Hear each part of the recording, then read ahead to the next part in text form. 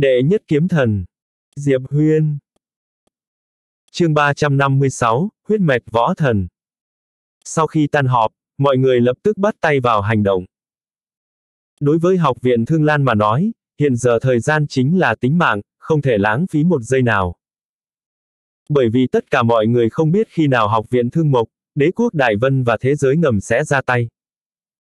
Diệp Huyên rời khỏi học viện Thương Lan, đi tới túy tiên lâu, ngũ lâu chủ tự mình ra đón tiếp.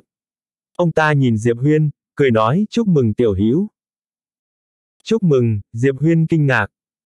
Ngũ lâu chủ nói, chiến thắng đế quốc Đại Vân, học viện Thương Mộc và thế giới ngầm. Diệp Huyên lắc đầu, chắc hẳn tiền bối phải biết bọn họ không hề bại trận, học viện Thương Lan và Khương Quốc chúng ta cũng không thắng. Ngũ lâu chủ nhìn Diệp Huyên, nói tiểu hữu hiểu được chuyện này thì lão phu yên tâm rồi. Diệp Huyên nói, tiền bối, trong khoảng thời gian tiếp theo học viện Thương Lan chúng ta sẽ mua nhiều đồ ở túy tiên lâu đó, rất nhiều. Ngũ lâu chủ trầm ngâm trong giây lát, sau đó nói, tiểu hữu hãy yên tâm, ta sẽ điều động tất cả tài nguyên trong lãnh thổ Thanh Châu tới để thỏa mãn tiểu hữu. Về phương diện giá tiền, chúng ta cũng sẽ cho tiểu hữu một cái giá ưu đãi, bên trên đã dặn dò, làm ăn với tiểu hữu, túy Tiên lâu chúng ta không lợi nhuận một đồng. Diệp Huyên ôm quyền, xin cảm ơn. Tiếng cảm ơn này xuất phát từ tận đáy lòng Diệp Huyên. Nếu như không có túy tiên lâu dốc sức ủng hộ, tốc độ phát triển của học viện Thương Lan sẽ chậm hơn rất nhiều. Cho dù có tiền cũng vẫn rất chậm. Ngũ lâu chủ cười nói, tiểu hữu khách khí rồi.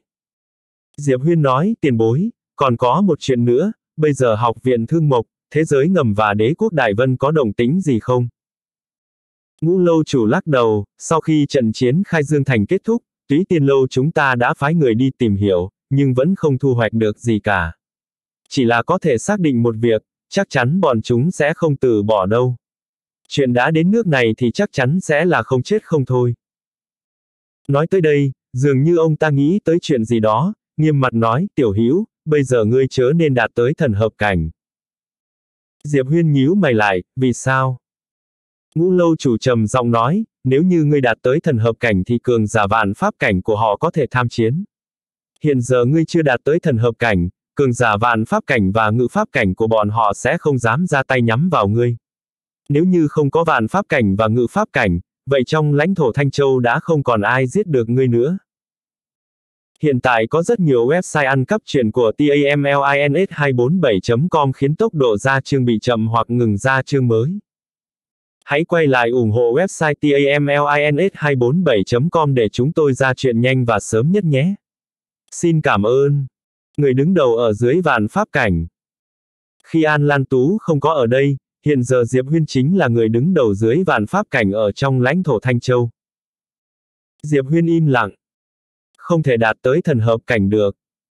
Diệp Huyên im lặng một lúc, gật đầu, vậy cũng được.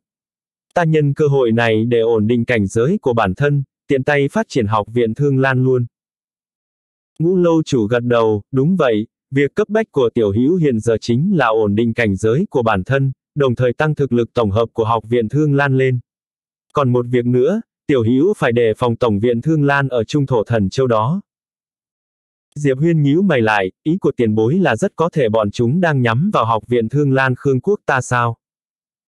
Ngũ lâu chủ nói, trước đó học viện Thương Lan Khương Quốc một nghèo hai trắng, đương nhiên Tổng viện Thương Lan không thèm để ý, nhưng hiện giờ thì khác, học viện Thương Lan Khương Quốc mạnh mẽ như vậy, nếu như phát triển tiếp thì tương lai chắc chắn sẽ trở thành một thế lực siêu cấp, đương nhiên bọn họ sẽ đỏ mắt.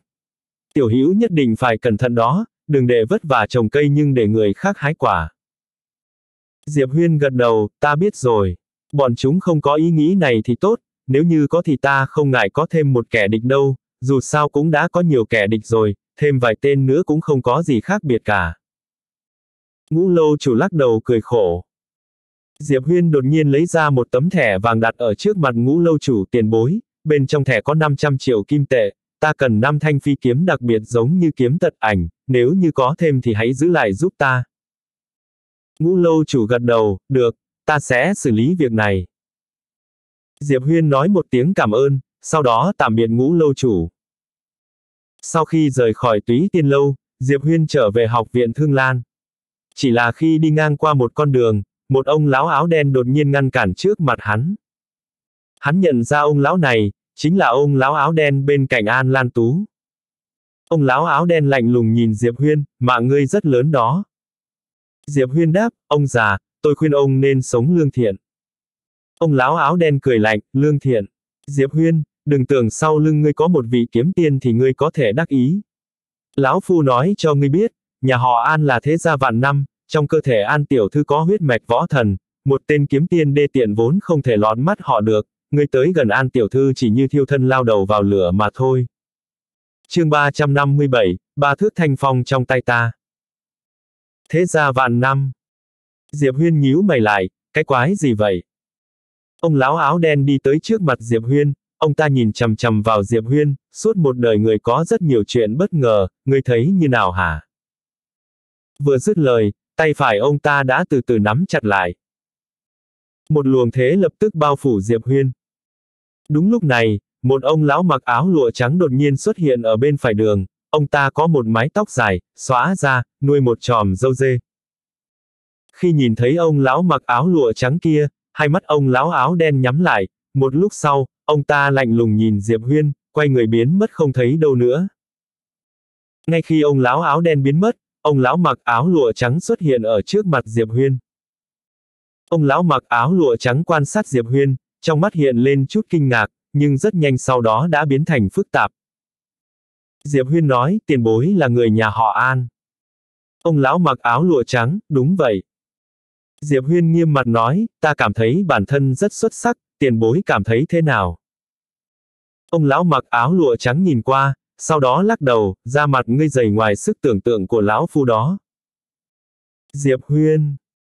Ông lão mặc áo lụa trắng nói, ngươi có biết nhà họ An chúng ta ngoại trừ coi trọng thiên phú ra thì còn coi trọng huyết mạch, coi trọng thân thế bối cảnh không? Tranh đấu ở cấp bậc chúng ta không phải là chuyện ngươi tưởng tượng nổi, ở giữa các thế gia với nhau, chuyện thông gia để kết minh với nhau là rất bình thường. Tiểu thư rất đặc biệt, vô cùng đặc biệt, người nàng lựa chọn tuyệt đối không thể là người bình thường, ngươi hiểu chứ? Diệp Huyên im lặng, ông ta nói rất thẳng thắn. Ông lão mặc áo lụa trắng đánh giá Diệp Huyên, thật lòng mà nói thì ngươi cũng không kém, nhưng với nhà họ An thì vẫn chưa đủ, còn thiếu rất nhiều, bởi vì trong nhà họ An có rất nhiều thiên tài giống như ngươi. Về phần thân phận bối cảnh của ngươi, dường như ngươi không có thân phận và bối cảnh gì cả. Nếu như nói tới vị kiếm tiên sau lưng ngươi, thứ cho lão phu nói thẳng, ngoài sáng nhà họ An đang có bốn vị kiếm tiên. Bốn vị kiếm tiên. Ông lão mặc áo lụa trắng nói tiếp, hôm nay lão phu nói vậy là vì mong các hạ biết khó mà lui, tương lai chớ hại mình cũng đừng để tiểu thư phải khó xử. Bởi vì nếu như tương lai ngươi không thể chịu đựng được lửa giận của các bên thì sẽ biến thành nàng gánh chịu, ngươi tự giải quyết cho tốt đi. Nói xong ông ta quay người biến mất không thấy bóng dáng đâu nữa. Trên đường phố, Diệp Huyên im lặng hồi lâu, cuối cùng hắn lắc đầu cười một tiếng, tiểu an, áp lực của ta khá lớn đó. Nói xong, hắn cúi đầu nhìn kiếm liên tú trong tay, một lúc sau hắn đột nhiên cười lớn một tiếng, thế ra cái chó gì. Ông đây không có thân phận, không có thế gia, nhưng ông đây có kiếm. Ba thước thanh phong ở trong tay, quét ngang cả chư thiên vạn giới. Tiểu An, chờ ta nhé. Vừa dứt lời, Diệp Huyên đã biến mất ở phía cuối con đường. Diệp Huyên không hề phát hiện ra trên đỉnh tháp giới ngục, thanh kiếm ở bên trái khẽ run lên một cái, nhưng rất nhanh sau đó đã khôi phục bình thường. Sau khi Diệp Huyên biến mất, một cô gái đột nhiên xuất hiện trên đường phố, nàng mặc một chiếc áo trắng như tuyết. An Lan Tú. An Lan Tú nhìn theo bóng lưng Diệp Huyên rời đi, khóe miệng cong lên, nở một nụ cười rung động lòng người, nụ cười này khiến cả đất trời cũng phải lu mờ đi.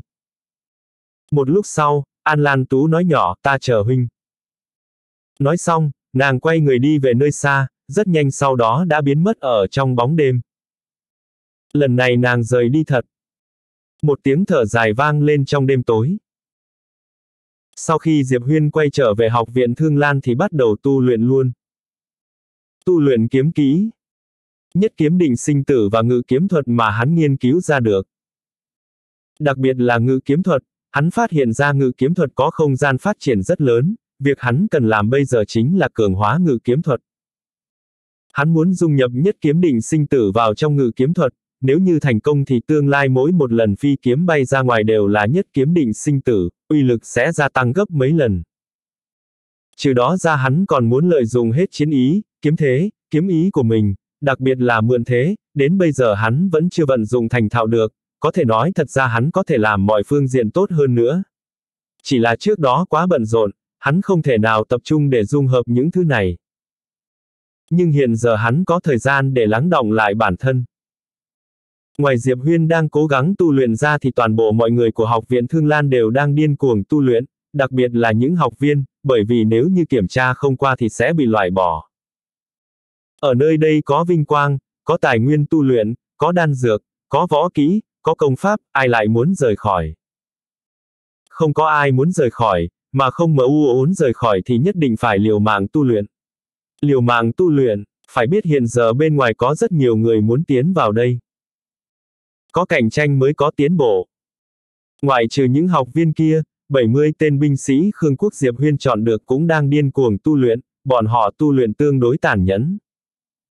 Những binh sĩ này đều tu luyện sát khí quyết, sát khí quyết cần có sát khí, để rèn luyện sát khí của những binh sĩ này, ngày ngày lục cửu ca sẽ dẫn bọn họ tới một nơi thần bí mà ngay cả Diệp Huyên cũng không biết được, dù sao lần nào trở về, những binh sĩ này cũng rơi vào trạng thái nửa sống nửa chết, thê thảm vô cùng.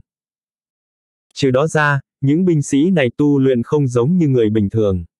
Dưới cường độ tu luyện như vậy, thân thể khó lòng chịu đựng được. Thế nhưng học viện Thương Lan rất nhiều tiền. Đan kim sang, các loại đan dược bổ dưỡng cùng một vài đan dược tăng cường thân thể khác, học viện Thương Lan bao no. Những binh sĩ này tu luyện võ kỹ kém nhất cũng là bậc địa. Trang bị sử dụng thì càng không cần phải nói, toàn là bậc minh. Nhưng lục cửu ca không cho bọn họ sử dụng bộ trang bị của kỵ binh hắc diễm quân. Muốn dùng cũng được, nhưng nhất định phải đạt tới tiêu chuẩn do nàng ta đặt ra. Đạt tiêu chuẩn mới được phép sử dụng. Ngày ngày những binh sĩ kia ngắm nhìn trang bị bậc minh nhưng không được sử dụng, đó cũng là một loại giày vò. Tu luyện. Liều mạng tu luyện. Quan trọng nhất chính là nếu đứng hàng chót trong thi đấu hàng tháng thì sẽ bị loại bỏ. Ở nơi này được ăn ngon nhất, dùng đồ tốt nhất, tài nguyên tu luyện tốt nhất, có ai không muốn chứ? Có thể nói mỗi người đều đang liều mạng tu luyện. Dưới tình trạng này, tốc độ phát triển của các binh sĩ vô cùng đáng sợ. Chương 358, hôm nay có bất ngờ cho tiểu hữu. Ngoài phương diện học viên và binh sĩ tu luyện ra thì sau khi kiếm sở sở trở thành tổng quản tài vụ của học viện Thương Lan, toàn bộ học viện Thương Lan đã thay đổi nghiêng trời lệch đất. Mỗi một ngày đều có rất nhiều người dân đế đô đi vào học viện Thương Lan để tham quan, mỗi một người đều cần giao nộp một số kim tệ nhất định, thật ra cũng không nhiều, tất cả mọi người đều chịu được, nhưng càng nhiều người thì càng nhiều tiền á. Chỉ trong một ngày, riêng hạng mục này học viện Thương Lan đã kiếm được hơn 20 triệu kim tệ. Kiếm sở sở thu được 2 triệu kim tệ. 2 triệu rất ít nhưng vẫn còn các hạng mục khác, ví dụ như đấu giá một vài khu đất bỏ đi ở xung quanh học viện Thương Lan, nếu như ai mua được mảnh đất đó thì sẽ được phép xây nhà, sau đó trở thành hàng xóm của học viện Thương Lan. Chỉ trong ngày đầu tiên kiếm sở sở đã bán được 5 mảnh đất, diện tích không lớn, chỉ chừng trăm mét vuông, mỗi một mảnh nàng ta đã đấu giá được 30 triệu kim tệ. Xung quanh học viện Thương Lan có ít nhất mấy chục nghìn mẫu đất đó. Trừ đó ra còn rất nhiều hạng mục khác, dù sao chỉ trong ngày đầu tiên kiếm sở sở đã được chia 30 triệu kim tệ. Kiếm sở sở trở thành người giàu nhất Khương Quốc chỉ còn là vấn đề thời gian mà thôi.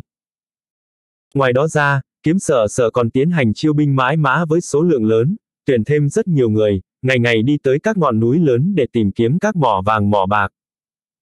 Sau nửa tháng cố gắng, nàng ta đã tìm được một mỏ vàng ở trong một ngọn núi sâu cách học viện Thương Lan chừng nghìn dặm. Lúc này cả học viện Thương Lan đều sôi trào. Đối với học viện Thương Lan mà nói, mỏ vàng này có ý nghĩa rất lớn, bởi vì mỏ vàng này có thể khai thác được mấy trăm triệu kim tệ. Đương nhiên kiếm sở sở có công lao lớn nhất, nàng ta đã được ban thưởng mấy chục triệu, không chỉ như vậy, Diệp Huyên còn hào phóng thưởng cho nàng ta một món linh khí bậc minh, thứ này khiến nàng ta sướng phát rồ. Thế là nàng ta vội vàng truyền âm bảo đệ đệ kiếm tiểu vương của mình tới đây, à, phải nói nàng ta còn gọi cho rất nhiều người nhà họ kiếm. Có được ban thưởng phong phú, kiếm sở sở càng ra sức bán mạng hơn. Nàng ta thành lập một ban nhỏ, một ban chỉ thuộc riêng về nàng ta, tuyển gần trăm người vào ban này, bọn họ phụ trách đủ loại việc. Đừng xem thường gần trăm người này, bọn họ phụ trách toàn bộ công việc làm ăn trong học viện Thương Lan. Và lại phần lớn mọi người trong số đó đã đi liên lạc với rất nhiều thế gia ở Khương Quốc, đàm phán thành công điều kiện hợp tác với những thế gia này. Hàng năm những thế gia này chi một khoản kim tệ ra thì có thể để con em tới học viện Thương Lan để học tập, chỉ cần đủ xuất sắc thì sẽ có thể trở thành học viên chính thức của học viện Thương Lan. Ban đầu Diệp Huyên cảm thấy việc này sẽ không có hiệu quả quá lớn, bởi vì hắn cảm thấy những thế gia này khá nghèo. Nhưng hắn đã sai rồi. Rất nhiều thế gia không hề nghèo khó, không chỉ như vậy đâu, phải nói là giàu khủng khiếp. Một suất trị giá 30 triệu kim tệ. Thế nhưng học viện Thương Lan đã thành lập hiệp nghị với hơn 20 thế gia, nói cách khác, một năm bọn họ có thể nhận được ít nhất 600 triệu kim tệ từ những thế gia này. Đương nhiên đây là hợp tác tự do, bất cứ lúc nào những thế gia này cũng được phép dừng hợp tác với học viện Thương Lan. Thế nhưng Diệp Huyên nhận ra những thế gia này hoàn toàn không có ý định dừng hợp tác với học viện Thương Lan. Bởi vì sau khi từ học viện Thương Lan đi ra ngoài, thân phận sẽ hoàn toàn khác. Đặc biệt là một số con em thế gia xuất sắc, bọn họ có thể trở thành học viên của học viện Thương Lan, thế nên ngày càng có nhiều thế gia tới hợp tác với học viện Thương Lan. Chỉ trong hai tháng ngắn ngủi, học viện Thương Lan đã phát sinh thay đổi nghiêng trời lệch đất. Sức ảnh hưởng của học viện Thương Lan càng lúc càng lớn, thực lực cũng ngày càng mạnh hơn. Nhưng Diệp Huyên lại cảm thấy hơi lo lắng. Bởi vì lực lượng cấp cao của học viện Thương Lan không đủ, đến bây giờ hắn cũng không biết thực lực của ba người lục cửu ca, Mạc Nguyên và Phong Lam là như thế nào. Và lại ngay cả việc liệu tương lai ba người này có chiến đấu vì học viện Thương Lan hay không cũng là một vấn đề. Thực lực vẫn chưa đủ. Hôm nay, ngũ lâu chủ của túy tiên lâu đi tới học viện Thương Lan. Trong phòng của Diệp Huyên, ngũ lâu chủ cười nói, tiểu hữu lần này sẽ cho ngươi một niềm vui bất ngờ. Diệp Huyên cười đáp, ta rất mong chờ đó. Ngũ lâu chủ cười lớn một tiếng, sau đó lấy ra một cái hộp, bên trong là năm thanh kiếm. Đều đạt tới bậc minh. Lúc này ngũ lâu chủ mở tay phải ra, một chiếc hộp hình vuông màu đen xuất hiện trong tay ông ta. Diệp Huyên ngẩn người, đây là... Ngũ lâu chủ cười đáp, hộp kiếm bậc chân, vật phẩm đấu giá của một vị kiếm tiên ở Trung Thổ Thần Châu giao cho túy tiên lâu chúng ta, giá 260 triệu kim tệ, không phải, phải nói là 25 triệu linh thạch cực phẩm. Ngươi muốn không? Diệp Huyên Audio điện tử võ tấn bền Chương 359, Kiếm Bậc Thiên 25 triệu linh thạch cực phẩm Diệp Huyên đã sững sờ. Nên biết rằng sau khi hắn lấy được kho báu của sở quốc và vinh quốc, giờ hắn cũng chỉ mới có hơn 2 triệu linh thạch cực phẩm. 25 triệu linh thạch cực phẩm. Dù có bán hắn cũng không đủ. Như biết được Diệp Huyên đang nghĩ gì, ngũ lâu chủ lắc đầu cười, ngươi có điều không biết, đừng nói là ở vùng Thanh Châu chúng ta, ngay cả trung thổ thần châu thì linh khí bậc chân cũng thuộc loại vô cùng quý giá. Đặc biệt là vật của kiếm tu dùng, những thứ đó càng quý giá hơn nữa. Diệp Huyên xòe tay ra, bất lực nói, tiền bối, ta không có nhiều tiền như vậy. Ngũ lâu chủ cười bảo, ta biết. Vậy tiền bối còn lấy. Diệp Huyên có chút không nói nên lời, làm vậy chẳng phải khiến hắn đỏ mắt à. Ngũ lâu chủ cười nhưng không nói. Diệp Huyên không ngốc, hắn lập tức vội hỏi, có cách nào khác sao? Ngũ lâu chủ gật đầu, cười đáp, nếu ngươi không thể trả 25 triệu linh thạch cực phẩm trong một lần, thì có thể trả góp theo từng đợt. Trả góp theo từng đợt. Diệp Huyên ngẩn ra, còn có thể vậy ư. Ngũ lâu chủ đáp, đương nhiên người khác không thể, nhưng ngươi thì có thể, tất nhiên cũng phải xem ngươi có cần hay không. Nếu cần, sau này mỗi tháng ngươi đưa cho túy tiên lâu ta ít nhất 250.000 linh thạch cực phẩm, và ngươi nhất định phải trả hết nợ trong vòng 3 năm. Đây đã là giới hạn mà túy tiên lâu ta có thể làm. 3 năm. Diệp Huyên nghĩ ngợi, sau đó gật đầu, được thôi. Ngũ lâu chủ đặt hộp đựng kiếm trước mặt Diệp Huyên, hộp đựng kiếm này có tên là Tàng Phong. Có nó, bất kể là sức mạnh hay tốc độ, thuật ngự kiếm của ngươi có thể tăng lên ít nhất 30%. Với thực lực của ngươi hiện nay, nếu tăng lên 30%, dưới vạn pháp cảnh, trừ phi là những yêu nghiệt hàng đầu ở trung thổ thần châu kia, nếu không thì dưới vạn pháp cảnh, không ai có thể cản được một kiếm của ngươi. Dưới vạn pháp cảnh. Diệp Huyên nhận lấy hộp đựng kiếm, cảm giác cầm trong tay lạnh như băng, quanh hộp có vài hoa văn màu vàng sậm. Tay phải Diệp Huyên chỉ kéo nhẹ, năm thanh kiếm bậc minh trong chiếc hộp bên cạnh chợt bay lên, sau đó lần lượt bay vào trong hộp đựng kiếm. Qua phút chốc im lặng, Diệp Huyên đột nhiên chỉ ra phía xa ngoài cửa. Vèo. Cách ngoài cửa 50 trượng, năm thanh kiếm cắm ngay ngắn vào một cây đại thụ. Mặt Diệp Huyên biến sắc, bởi vì tốc độ này quả thật nhanh hơn ít nhất khoảng 30% so với trước đó. Nếu bây giờ đối đầu với người khác, chỉ cần là dưới vạn pháp cảnh, ngoại trừ loại yêu nghiệt hàng đầu kia, hắn hoàn toàn có thể giết chết đối phương trước khi đối phương phản ứng kịp. Diệp Huyên nhẹ nhàng vuốt ve chiếc hộp trong tay, món đồ chơi này đúng là đồ tốt. Chỉ là hơi đắt, nó đã khiến hắn phải mắc nợ hơn 20 triệu linh thạch cực phẩm. Ngũ lâu chủ không ở lại lâu, sau khi ông ta nhận 250.000 linh thạch cực phẩm thì rời đi. Sau khi ngũ lâu chủ đi, Diệp Huyên đeo hộp đựng kiếm đi vào khu rừng trúc phía sau núi. Hắn đứng giữa rừng trúc, làm mình bình tĩnh lại, chung quanh lặng ngắt như tờ.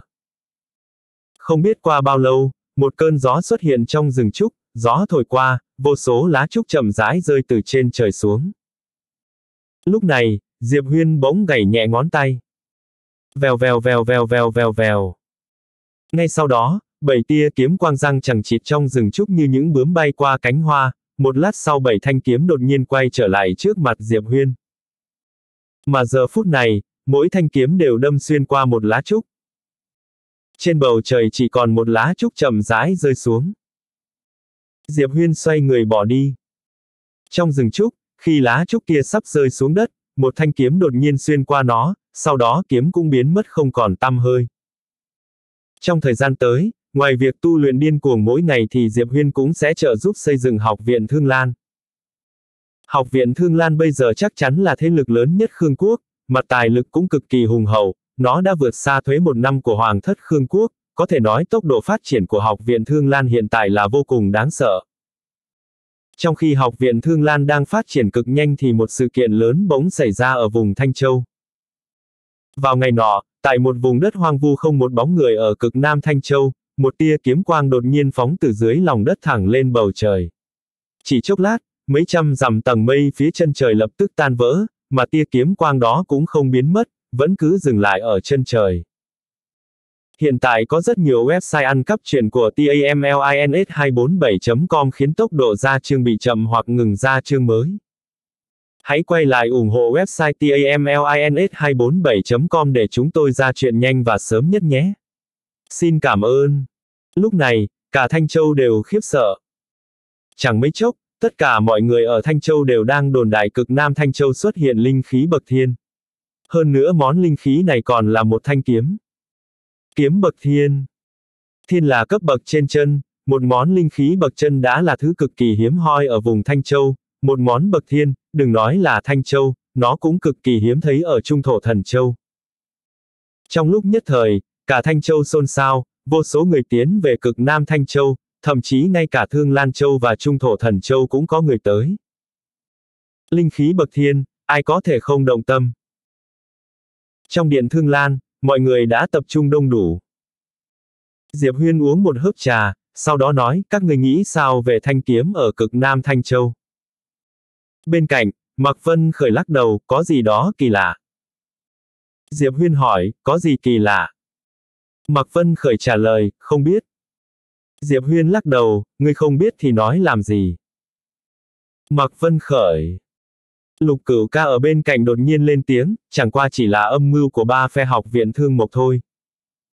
Mọi người nhìn về phía lục cửu ca, nàng ta cười khẽ, vùng Thanh Châu hoàn toàn không có khả năng xuất hiện linh khí bậc thiên, dù có thì cũng không thể xuất hiện theo cách đó được, cứ như sợ người trong thiên hạ không biết vậy. Vì thế, ta đoán có người cố tình làm ra chuyện này. Mọi người lần lượt nhìn sang Diệp Huyên. Chắc chắn việc này nhằm vào Diệp Huyên. Diệp Huyên cười nói, họ muốn dụ ta đến đó một mình. Lục cửu ca gật đầu, chắc là thế, đây là cái bẫy họ bố trí riêng cho ngươi. Diệp Huyên hơi nghi hoặc, họ dựa vào đâu cho rằng ta nhất định sẽ tới. Lục cửu ca cười đáp, nếu đoán không lầm thì thanh kiếm này hẳn là thật. chương 360, Diệp Huyên đã tới cực Nam. Họ đang đánh cược xem ngươi có chịu đựng được sự cám dỗ này không. Diệp Huyên cười nói, vậy thì có lẽ họ đã cược sai rồi. Đúng thật hắn rất có hứng thú với kiếm bậc thiên, nhưng hắn sẽ không ngốc đến mức biết rõ là bẫy còn muốn chui vào. Tại sao không đi? Lục cửu ca đột nhiên hỏi. Mọi người nhìn lục cửu ca, nàng ta cười nói, đây là một cái bẫy, nhưng cũng là một cơ hội. Hơn nữa, nếu ngươi không tiếp chiêu, chắc chắn họ sẽ lập tức tung chiêu tiếp theo. Hiện giờ ngươi đã đạt thành tựu lớn, bên cạnh có quá nhiều người cần chú ý, do đó không thể nào tránh được. Kiếm sở sở ở bên cạnh gật đầu một cách rất tán thành, lục cô nương nói đúng, nếu lần này ngươi không tiếp chiêu, họ nhất định sẽ có chiêu kế tiếp.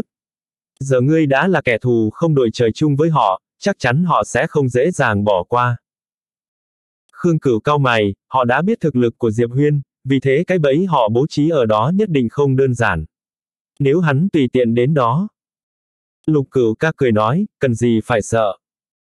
Mọi người lại nhìn về phía lục cửu ca, cô gái còn trẻ nhưng luôn bình tĩnh và tự nhiên này. Lục cửu ca bưng tách trà lên nhẹ nhàng uống vài hớp, sau đó cười đáp, họ đã cài bẫy, vì sao chúng ta không thể cài bẫy ngược lại? Khương cửu hỏi, cài bẫy ngược lại bằng cách nào? Lục cửu ca đặt tách trà xuống rồi nhìn Diệp Huyên, sau cái chết của Lý Mục lần trước, chắc chắn họ không còn dám điều động vạn pháp cảnh và ngự pháp cảnh tới đối phó ngươi nữa. Lần này cực Nam Thanh Châu xuất hiện thiên kiếm, họ dụ ngươi qua đó thì chỉ có ba tình huống. Thứ nhất là muốn mượn đao giết người, ví dụ mượn yêu nghiệt trung thổ thần châu giết ngươi. Thứ hai, họ sẽ bày trận pháp hoặc kết giới để chấn áp ngươi và làm giảm sức mạnh của ngươi, hoặc là khiến ngươi không thể phát huy thực lực bản thân. Còn thứ ba, Khương Cửu vội vàng hỏi.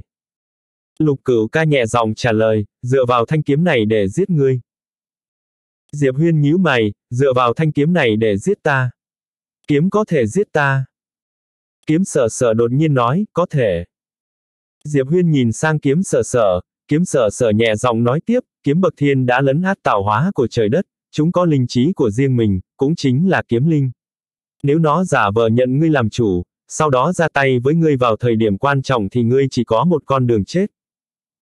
Kiếm bậc thiên. Mặt Diệp Huyên xa sầm. Trước mắt kiếm liên tú trong cơ thể hắn không thể cắn nuốt kiếm bậc thiên. Nói cách khác, nếu thanh kiếm bậc thiên này cắn trả, hắn hoàn toàn không có cách nào chống cự, nhưng hắn cũng không cần phải cắn nuốt nó. Nếu lấy được thì cứ chấn áp nó. Một thanh kiếm bậc chân đã trị giá mấy tỷ, một thanh kiếm bậc thiên thì sao? Chắc chắn sẽ là một con số trên trời. Nói không động tâm là giả, nhưng hắn cũng biết đối phương dám bày ra cái bẫy với một thanh kiếm quý giá như vậy, cái bẫy này nhất định sẽ không bình thường. Lúc này, lục cửu ca lên tiếng, tuy có nguy hiểm nhưng cũng là một cơ hội. Nếu ngươi đi, thứ nhất là có thể có được một thanh kiếm bậc thiên, thứ hai là có thể kéo dài thêm chút thời gian cho học viện Thương Lan, để học viên và đạo binh của học viện Thương Lan có thêm thời gian rèn luyện.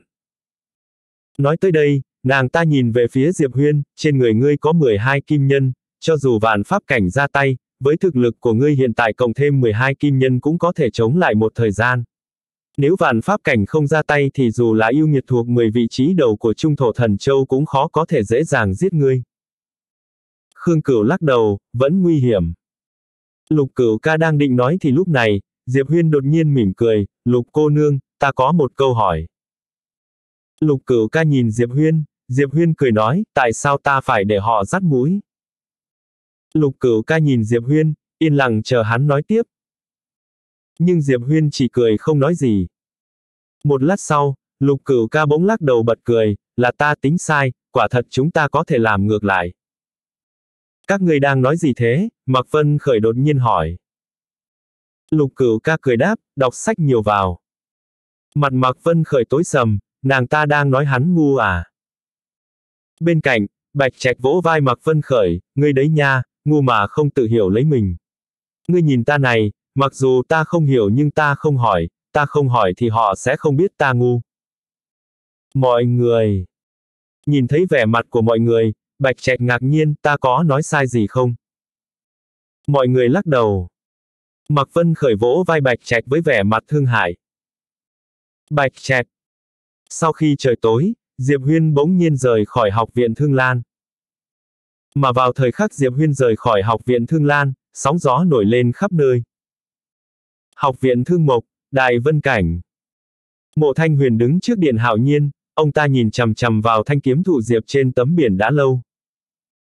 Chẳng biết qua bao lâu, một người áo đen đột nhiên xuất hiện sau lưng ông ta, viện trưởng, Diệp Huyên đã ra khỏi học viện Thương Lan, theo hướng đi của hắn chắc hẳn là cực Nam Thanh Châu. Nhưng không hiểu vì sao, sau khi hắn đến cực Nam thì bỗng nhiên biến mất, người của chúng ta đã mất dấu. Mộ Thanh Huyền từ từ nhắm mắt lại, một lát sau, ông ta nhẹ giọng nói, người này đã là kiếm chủ, các ngươi mất dấu cũng không có gì lạ. Nhưng không sao, hắn nhất định sẽ đến, hắn không cự tuyệt kiếm bậc thiên được đâu. Báo cho đế quốc đại vân và thế giới ngầm, có thể bắt đầu rồi. Diệp Huyên đã đến cực Nam. Không biết ai truyền tin này đi, chẳng mấy chốc nó đã truyền khắp vùng Thanh Châu. Tất cả mọi người đều biết chắc chắn Diệp Huyên đến vì thanh kiếm bậc thiên này. Trong lúc nhất thời, đâu đâu ở Thanh Châu cũng đang bàn tán thanh kiếm này có thể rơi vào tay Diệp Huyên hay không. Nhưng ngay khi mọi người cho rằng Diệp Huyên đã đến cực Nam, một người áo đen đeo hộp đựng kiếm lặng lẽ tiến vào đại vân cảnh nội. Thần không biết, quỷ không hay. Chương 361, làm bạn. Đế quốc Đại Vân chiếm gần như một phần ba diện tích Thanh Châu, là bá chủ danh bất hư truyền được công nhận rộng rãi trên toàn cõi. Vào thời kỳ hoàng kim của nó, hoàng quyền vươn đến từng thế lực trên đất Thanh Châu, ngay cả học viện thương mộc cũng phải cúi đầu xưng thần. Nhưng người xưa có câu, thịnh cực tất suy. Sau khi đã đến đỉnh điểm, vị bá chủ Thanh Châu bắt đầu đi về phía bên kia sườn dốc. Sau khi trải qua mấy đời hoàng đế vô năng ngu ngốc chỉ biết phung phí giày vò, nó đang đứng trước nguy cơ bị chia năm xẻ bảy. Đúng vào lúc ấy, Kháo Sơn Vương Liên Vạn Lý sinh ra, một tay xoay chuyển tình thế, cứu vớt đế quốc cổ xưa trước bờ vực sụp đổ.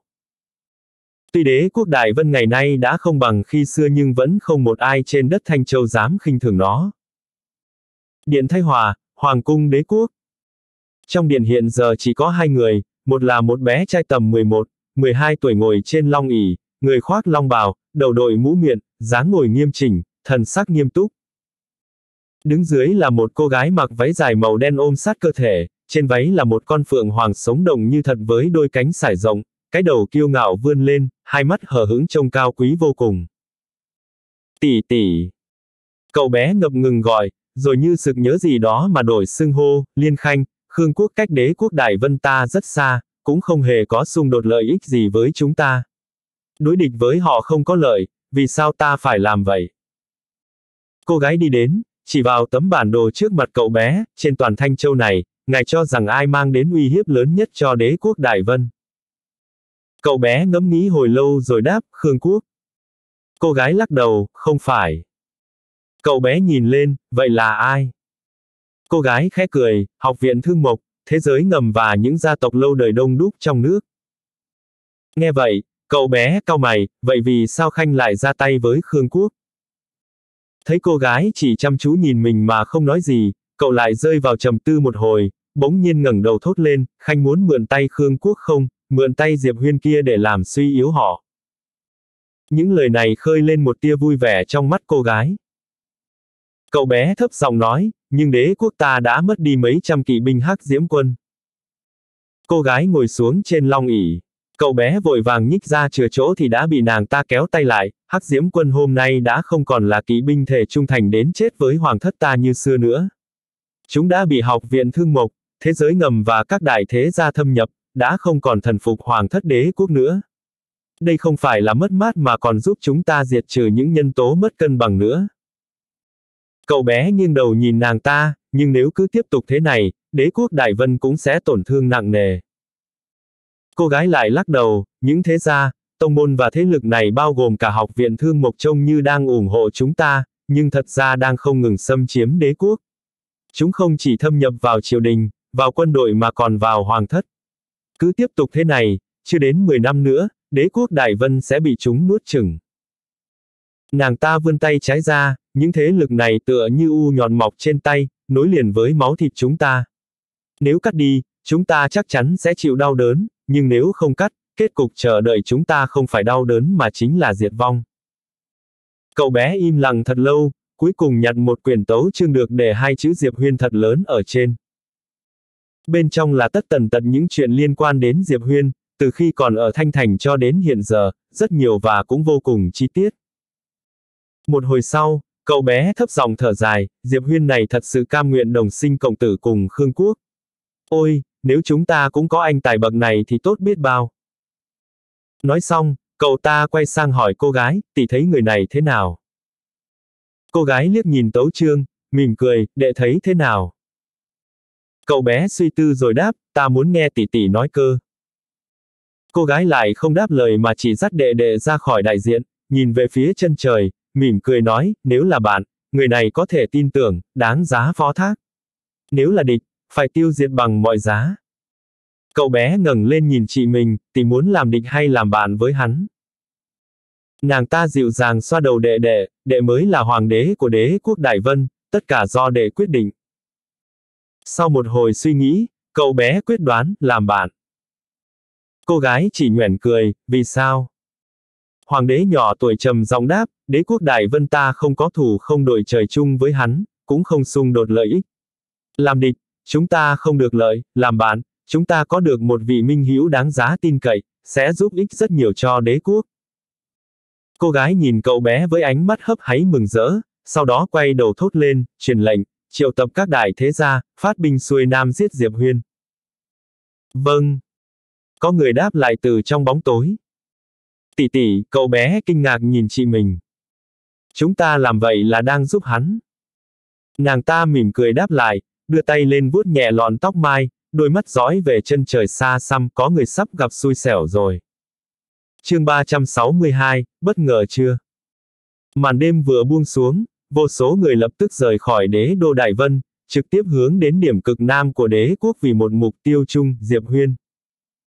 Đã có ba thế lực mạnh nhất Thanh Châu là Học viện Thương Mộc, Thế giới ngầm và đế quốc Đại Vân dẫn đầu, những thế gia khác có ăn gan hùm mật gấu cũng không dám từ chối, trừ khi không muốn sống ở Đại Vân nữa. Tại một cánh đồng hoang vu ở cực nam đế quốc nọ, một tia kiếm quang vẫn còn lơ lửng trên không trung, mãi không chịu tan đi. Trong bóng tối, mộ thanh huyền và ám chủ thế giới ngầm sóng vai mà đứng, đồng loạt nhìn chằm chằm vào vị trí dưới kiếm quang kia. Ám chủ bỗng lên tiếng, lần này có chắc chắn không? Mộ thanh huyền lạnh nhạt đáp lời, cấm linh trận dưới lòng đất có thể khóa chặt huyền khí trong người, khiến hắn không thể dùng kiếm. Tuy nói thân xác hắn quả thật rất mạnh mẽ nhưng không có kiếm thì sức mạnh cũng bị giảm đi ít nhất 5 phần. Khi ấy, giết hắn không còn là khó khăn gì nữa. Lỡ như có thất bại cũng không sao, bởi vì thanh kiếm kia sẽ cho hắn một bất ngờ. Nói xong, ông ta liếc mắt nhìn người kế bên, hắn đang ở đâu? Ám chủ đáp, người của ta đã truy ra được tung tích của hắn ở cách đây không xa, sẽ nhanh chóng đến thôi. Mộ thanh huyền gật đầu, hai tay siết lại, một tia âm u dâng lên trong mắt, dặn người dưới đất chuẩn bị sẵn sàng, một khi hắn rơi xuống phải lập tức phát động đại trận, không được cho hắn bất kỳ cơ hội nào. Ám chủ bỗng hỏi, có một điều ta không rõ. Đế quốc Đại Vân vốn không có ân oán gì với Diệp Huyên, vì sao lần này liên vạn lý lại ủng hộ chúng ta đến vậy? Chẳng lẽ nàng ta thật sự muốn thống nhất Thanh Châu? Mộ Thanh Huyền cười khỉnh, nàng ta vẫn luôn ôm giá tâm rất lớn, có suy nghĩ như vậy cũng bình thường. Ám chủ gật gù, muốn thống nhất Thanh Châu mà không có sự ủng hộ của học viện thương mộc quả thật khó như lên trời. Học viện thương mộc phân bố ở khắp các quốc gia trên Thanh Châu, sở hữu sức ảnh hưởng khổng lồ vô cùng. Nếu có được sự ủng hộ hộ nó thì việc thống nhất Thanh Châu của đế quốc Đại Vân sẽ trở nên dễ dàng hơn rất nhiều. Vào lúc này, đã có mấy trăm người tụ tập dưới lòng đất, người kém cỏi nhất trong đó cũng đã đạt đến thông u cảnh. Đây chính là quân tinh nhuệ của học viện thương mộc và thế giới ngầm, trong đó có 20 người là cường giả thần hợp cảnh đỉnh cao đến từ trung thổ thần châu. Họ chính là lá bài tẩy cho đại trận lần này, dùng để cưỡng chế chấn áp Diệp Huyên. Chỉ cần hắn đặt chân vào lòng đất, đại trận sẽ lập tức khởi động, hắn sẽ như côn trùng mắc vào bẫy nhện, không thể sử dụng huyền khí hay bất kỳ bí thuật thần thông nào. Một khi họ ra tay, Diệp Huyên chắc chắn không còn đường sống. Để bố trí đại trận này, Học viện Thương Mộc và Thế giới ngầm đã bỏ ra ít nhất 500 triệu đồng vàng và hơn 10 triệu linh thạch cực phẩm, lại còn mượn cả một thanh thiên kiếm từ trung thổ thần châu. Họ dốc cả vốn lẫn lái như vậy chỉ vì một mục đích duy nhất, giết chết Diệp Huyên. Sự trưởng thành thần tốc của Diệp Huyên và Học viện Thương Lan đã khiến họ đi từ kiêng kỵ đến sợ hãi. Nếu để tình trạng này tiếp diễn, cục diện Thanh Châu sẽ thật sự bị thay đổi, thậm chí uy hiếp đến địa vị cao vợi của họ. Đó là chưa tính đến việc hai bên có mối thù sống mái đã không thể nào hòa giải. Học viện thương mộc và thế giới ngầm đã không còn đường lui nữa. Thời gian từng khắc trôi đi. Một hồi lâu sau, một bóng người áo đen đeo hộp kiếm trên lưng bỗng đặt chân vào cánh đồng hoang. Người này mang một chiếc mặt nạ đen che khuất diện mạo, bước chân không ngừng đi đến dưới tia kiếm quang kia. Đôi mắt của mộ thanh huyền bỗng nheo lại, hắn đến rồi. Ám chủ gật đầu, lặng lẽ thối lui. Mấy trăm người dưới lòng đất vận công chờ đợi, sẵn sàng xuất thủ. Phải đối mặt với kiếm chủ trẻ tuổi nhất Thanh Châu hiện nay, trong mắt ai cũng là vẻ nghiêm trọng. Họ cũng đã chuẩn bị phương án đối phó với 12 kim nhân, chỉ cần Diệp Huyên rơi xuống, hắn ắt hẳn phải chết. Trên mặt đất, bóng người áo đen càng lúc càng đến gần kiếm quang, nhưng khi chỉ còn cách đại trận trong gang tấc, bước chân hắn ta dừng lại. Mộ thanh huyền sửng sốt, hắn không đi tiếp nữa ư. Bóng người ấy thong thả xếp bằng ngồi xuống, bắt đầu tính tỏa. Cho quỷ gì đây, mộ thanh huyền không khỏi nhíu mày. Thời gian lại chậm rãi trôi qua, người kia vẫn không làm gì. Ám chủ xuất hiện bên người mộ thanh huyền, thấp giọng kêu lên có gì đó không đúng. Mộ thanh huyền không rời mắt khỏi bóng người kia, khẽ quát cho người đi thăm dò đi. Ám chủ vừa gật đầu thì bóng người áo đen kia bỗng nhiên gỡ mặt nạ xuống. Diện mạo của hắn ta khiến sắc mặt mộ thanh huyền và ám chủ đen như đáy nổi trong nháy mắt. Đây nào phải Diệp Huyên mà chính là Mạc Vân Khởi. Hắn ta ngẩng phát lên nhìn về nơi xa xôi, khóe miệng đã kéo tới mang tai, hết hồn chưa? Bất ngờ chưa? Sắc mặt mộ thanh huyền xấu xí vô cùng. Không gian trước mặt ông ta khẽ run lên. Mộ thanh huyền biến sắc, lập tức gầm lên, lập tức giải trận. Tất cả tức tốc chạy về học viện thương mộc. Vừa dứt lời, ông ta và ám chủ đã biến mất, nhanh chóng khuất dạng cuối chân trời. Dưới chân núi học viện thương mộc, đế quốc Đại Vân. Một bóng người áo đen đeo hộp kiếm trên lưng đang đối mặt với một nhóm học viên thương mộc. Tuy người này chỉ yên tĩnh đứng đó nhưng các học viên cũng không dám ra tay, bởi vì họ biết hắn chính là Diệp Huyên. Mộ Thanh Huyền và ám chủ hóa thành hai tia chớp, chỉ dùng chưa đến hai khắc đã trở về. Thấy học viện vẫn bình an vô sự, mộ Thanh Huyền thở phào một hơi. Cả hai xuất hiện trước mặt người áo đen, mộ Thanh Huyền sừng sộ quắc mắt, Diệp Huyên, ngươi. Đúng lúc ấy, người áo đen cởi áo choàng, lộ ra gương mặt thật của mình. Mộ Thanh Huyền như bị xét bổ trúng đầu, mặt trắng bệch như tờ giấy. Chương 363, Diệp Huyên hàng thật giá thật. Chương 363, Diệp Huyên hàng thật giá thật. Bởi vì người trước mặt ông ta cũng không phải Diệp Huyên. Những người khác cũng ngây ra như phóng. Nếu người này không phải Diệp Huyên thì hắn ở đâu? Một suy nghĩ lóe lên trong đầu mộ thanh huyền. Ông ta tái mặt, nhìn về chân trời mà thét lên, thiên kiếm. Đi mau. Vừa nói xong, ông ta đã lập tức biến mất, để lại đám học viên thương mộc bốn mắt nhìn nhau trong ngỡ ngàng. Cách đó không xa, gương mặt tuyệt trần dưới lớp mặt nạ được hé lộ, không ai khác ngoài kiếm sở sở. Đáng lắm. Nàng ta nhoẻn cười nhìn theo hướng mộ thanh huyền rời đi rồi cũng cất bước. Chấm chấm chấm. Hai khắc trước tại mũi cực nam. Sau khi mộ thanh huyền và ám chủ tức tốc chạy đi, những người ở dưới lòng đất cũng vội vã triệt trận, ùa lên mặt đất. Ngay khi họ chuẩn bị chạy về học viện thương mộc, một người bỗng nhiên ngẩng đầu nhìn lên. Nhắc thấy ánh sáng lóe lên gần đó, người này biến sắc nhưng chưa kịp ra tay đã bị một thanh kiếm đâm thủng giữa chân mày. Thân thể hắn ta cứng đờ, máu tươi phọt ra từ trước lẫn sau đầu. Những người khác tái mặt vì hoảng sợ khi nhìn thấy một bóng người đang lao đến từ phía xa. Đó chính là Diệp Huyên hàng thật giá thật. Ai nấy đều kinh hãi, tự hỏi không phải hắn đang ở học viện thương mộc ư. Diệp Huyên chạy càng lúc càng nhanh hơn, bảy thanh kiếm lao vào nhóm người như những tia chớp. Bảy tiếng xoẹt vang lên, bảy cái đầu bay ra ngoài. Giết trong chớp mắt. Thấy Diệp Huyên xông vào, những người đó vừa toan ra tay thì năm kim nhân bất thình lình xuất hiện, trực tiếp giết thêm bảy, tám người khác. Diệp Huyên và năm kim nhân đi đến đâu, người chết như ngả giả đến đó khiến dũng khí của những người còn lại đã bị bẻ gãy từ lâu, cuống quýt rút lui. Tuy cán cân sức mạnh hoàn toàn nghiêng về một phía nhưng rút lui lại đồng nghĩa với việc chặt đứt đường sống. Năm kim nhân này chỉ có thể tồn tại trong một khắc. Nếu bọn họ liên thủ chống chịu qua hết thời gian ấy, họ hoàn toàn có thể ngăn cản Diệp Huyên. Họ không có phần thắng nếu đấu tay đôi cùng Diệp Huyên, nhưng 100 đánh một thì hoàn toàn có thể, bởi vì Diệp Huyên còn chưa đạt đến trình độ một trọi 100.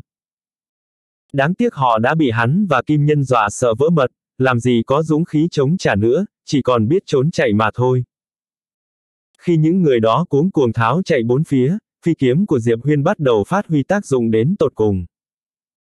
Chúng xẹt qua xẹt lại khắp nơi, mỗi đường kiếm đều mang theo một cái thủ cấp đầm đìa máu tươi. Chưa đến một khắc sau, 70 người đã nằm xuống dưới tay Diệp Huyên và 5 kim nhân, 30 còn lại đã chạy tứ tán.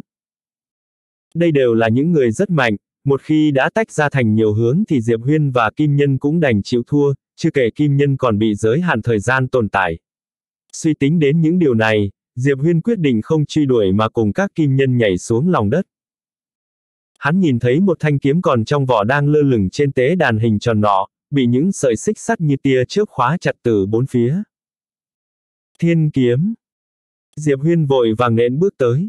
Khi còn cách tế đàn chưa đến nửa trượng, một tia kiếm khí sắc lẻm bỗng bắn vọt đến. Hắn cau mày, đâm kiếm trong tay về trước, mũi kiếm lóe sáng. ầm, um. Tia kiếm khí vỡ tan, bản thân Diệp Huyên cũng thối lui khoảng 10 bước. Thanh kiếm trên tế đàn chấn động kịch liệt. Hắn không dám lãng phí thời gian nữa, lập tức chỉ huy các kim nhân vọt tới. Một tia kiếm khí khác lại bắn ra, bị kim nhân chặn lại. Họ chạy đến tế đàn, cùng nhau phá hủy bốn tia sét đang giam cầm thanh kiếm mà chẳng tốn mấy thời gian. Thấy vậy, Diệp Huyên không những không vui mà sắc mặt còn trở nên nặng nề. Vào giây phút bốn tia sét bị phá hủy, thanh kiếm đã toàn lao bắn ra ngoài nhưng bị một kim nhân giữ lại. Diệp Huyên bước lên tế đàn, không trực tiếp chạm vào kiếm mà để năm kim nhân đưa nó vào tầng thứ hai tháp giới ngục. Vừa tiến vào không gian tháp, thanh kiếm vốn đang không ngừng chấn động bỗng khựng lại trong một khắc, sau đó lại run rẩy từng chập như đang sợ hãi vô cùng. Ít nhất Diệp Huyên cảm thấy như vậy. Hắn không nghĩ nhiều nữa mà đóng cửa tầng thứ nhất lại, sau đó rời khỏi lòng đất. Trong tháp giới ngục, đôi tay kim nhân buông thóng sau khi đã dùng hết linh khí, thanh kiếm giành lại được tự do lập tức điên cuồng bắn vọt lung tung trong tầng thứ nhất, không ngừng tỏa ra những tia kiếm quang nện rầm rầm vào tường. Nó đang khẩn thiết muốn thoát ra ngoài. Tiếc rằng tháp giới ngục quá vững chắc, mặc cho thanh kiếm có đâm chém thế nào đi nữa cũng không hề suy xuyển. Nhưng kiếm không chỉ không dừng lại mà còn làm loạn hơn, lấp đầy tầng tháp thứ nhất bằng hàng hà xa số những tia kiếm quang và tiếng kiếm minh đinh tai nhức óc. Đúng lúc ấy, thanh kiếm cắm ở giữa đỉnh tháp giới ngục bỗng run lên. Trong nháy mắt, một sự yên tĩnh bao trùm tầng tháp thứ nhất, chỉ còn một thanh kiếm run như cầy sấy nơi góc tường. Chương 364, e rằng kiếm sẽ gì xét mất. Bên ngoài tháp, Diệp Huyên vừa trở lại mặt đất, Mạc Vân Khởi đã hăm hở chạy đến cười tươi giói, đã dọn chiến trường xong, tổng cộng thu được hơn 40 món linh khí cực phẩm, hơn 300 triệu kim tệ, linh thạch cực phẩm chừng 300.000 viên, thêm một mớ linh tinh nữa. Quan sát Diệp Huyên trong chốc lát, hắn ta hỏi dò, lấy được rồi à? Diệp Huyên gật đầu, đi thôi. Hai người đồng loạt biến mất. Sau đó không lâu, mộ thanh huyền và ám chủ xuất hiện trên không trung. Cảnh tượng với thi thể vương vái khắp nơi khiến sắc mặt hai người họ trở nên xấu xí vô cùng. Khi mộ thanh huyền đi xuống lòng đất, chỉ có tế đàn trống giống tiếp đón ông ta. Sắc mặt mộ thanh huyền xanh như tàu lá, hai tay siết chặt đến lồi gân xanh, cả người run lên nhẹ nhẹ, không còn chút khí chất thong dong nhã nhặn nào nữa. Thanh thiên kiếm kia đã bị lấy đi rồi, bảo lòng ông ta làm sao mà không sót cho được. Kiếm ấy được học viện thương mộc mượn từ trung thổ thần châu đến, nói cách khác nó vốn cũng không phải kiếm của họ, một khi mất rồi thì có bán cả học viện cũng không đền nổi.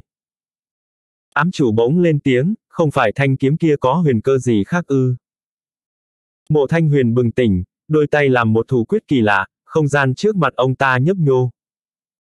Một hồi lâu sau, chân mày mộ thanh huyền nhíu chặt, sắc mặt âm u như nổi báo, không cảm nhận được. Ám chủ thấp giọng nói, hắn hẳn vẫn chưa hoàn toàn thu phục nó. Đợi hắn thu phục xong rồi nhất định sẽ sử dụng nó, khi ấy ngươi chỉ cần niệm kiếm quyết để nó phản phệ, chắc chắn có thể giết hắn. Nhưng mộ thanh huyền lại lắc đầu với vẻ phức tạp trong mắt, chúng ta đã đánh giá hắn quá thấp. Ông ta trở lên mặt đất, nhìn những thi thể la liệt khắp nơi, nhẹ giọng nói, kẻ này muốn biết rõ thế trận chúng ta bày ra nên mới có một màn như vậy. Không có đại trận áp chế, không có vạn pháp cảnh ra tay, hắn ta hoàn toàn vô địch khắp Thanh Châu. Ám chủ không bình luận gì, bởi vì sự thật đúng là vậy.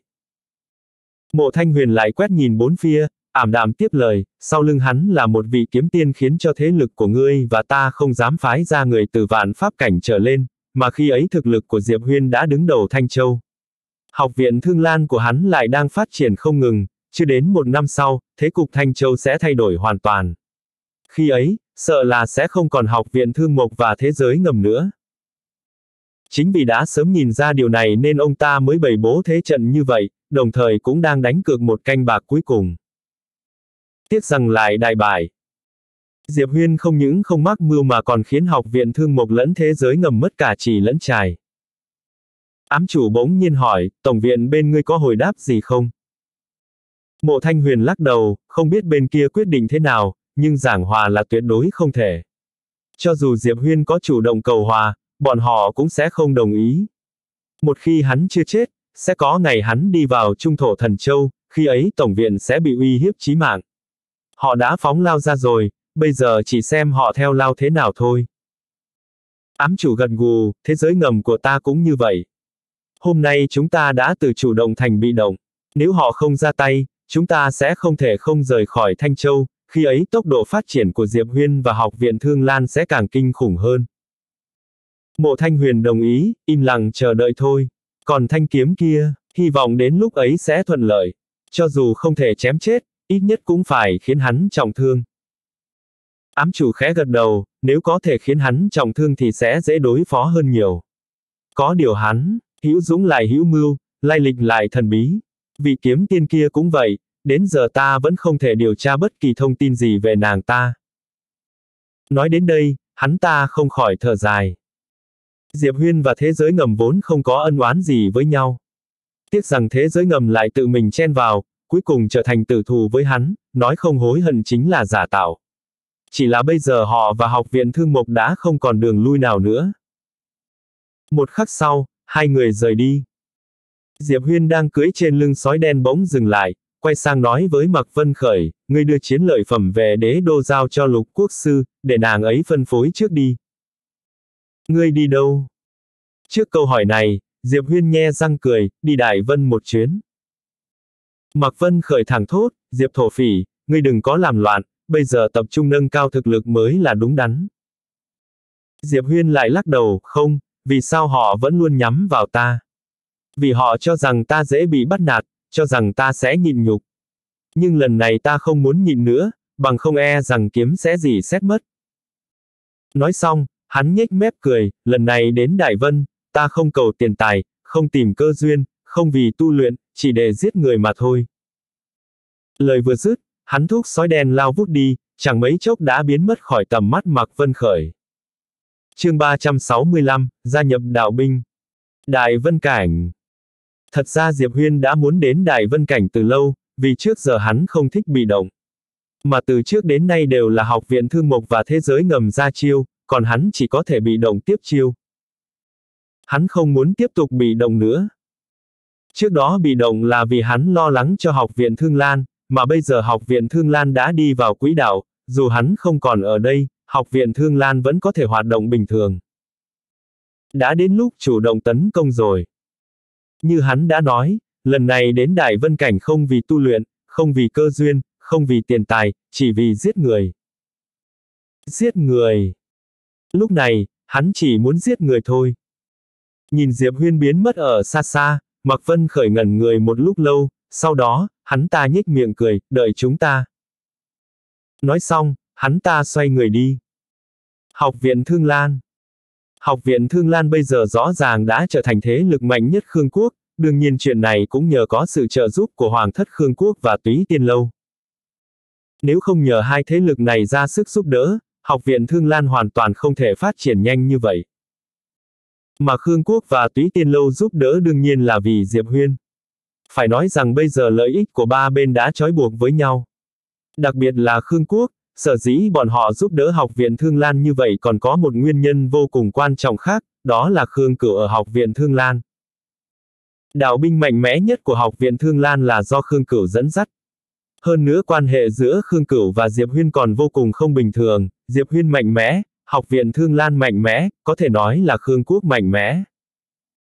Quốc chủ Khương Quốc và Khương Việt Thiên nhìn rất thấu đáo, sau này mục tiêu của Khương Cửu và Diệp Huyên là tinh thần đại hải, chứ không phải Khương Quốc nho nhỏ này. Còn về túy tiên lâu, mục tiêu của bọn họ cũng không phải Thanh Châu, mà là Trung Thổ Thần Châu. Bọn họ đang đợi, đợi Diệp Huyên đến Trung Thổ Thần Châu. Diệp Huyên đi Trung Thổ Thần Châu là chuyện sớm muộn, sau này thành tựu của Diệp Huyên cao bao nhiêu, túy tiền lâu sẽ có lợi bấy nhiêu. Túy tiền lâu làm ăn buôn bán, bọn họ hiểu rất rõ một điều, rất nhiều lúc, nhà đầu tư là người đạt được lợi ích cao nhất. Điện Thương Lan Mấy người mặc vân khởi, kiếm sở sở và mặc nguyên đều có mặt, mà bây giờ người quản lý học viện Thương Lan chính là Lục Cửu Ca. Lục Cửu Ca nhìn mọi người, các vị, các vị thấy sao về chuyện Diệp viện trưởng đến Đại Vân Cảnh, có suy nghĩ gì? Mạc Nguyên lắc đầu, quá kích động. Phong Lam cũng gật đầu, việc quan trọng nhất bây giờ là phát triển học viện thương mộc và nâng cao thực lực của cậu ấy, lúc này đến Đại Vân Cảnh, sợ lại xảy ra chuyện. Xảy ra chuyện. Lục cửu ca cười nhạo, hắn không đi thì sẽ không xảy ra chuyện à. Mọi người nhìn lục cửu ca, nàng ta uống một hớp trà, sau đó cười khẽ nói, bây giờ chúng ta và học viện thương mộc cùng thế giới ngầm đã là tình thế một mất một còn. Nếu kỳ viện trưởng chưa mất, ta tin có lẽ còn có cơ hội giảng hòa. Nhưng kỳ viện trưởng đã mất, với tính cách của viện trưởng chúng ta, việc này chắc chắn không thể giảng hòa.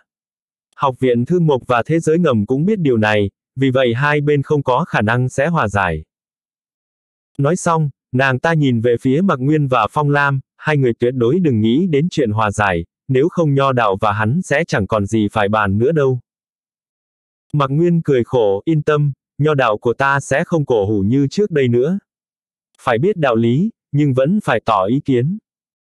Lục cửu ca gật đầu, nàng ta nhìn mấy người mặc vân khởi một cái, mấy người các ngươi, ngoài kiếm sở sở ra thì không ai đủ năng lực cả, đã có khoảng cách không nhỏ với hắn rồi.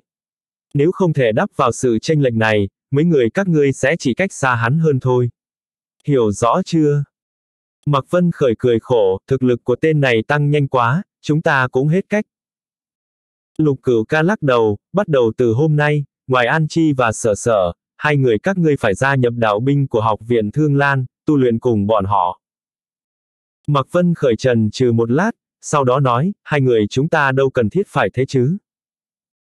Lục cửu ca nhẹ giọng nói, cảm thấy mình mạnh lắm sao.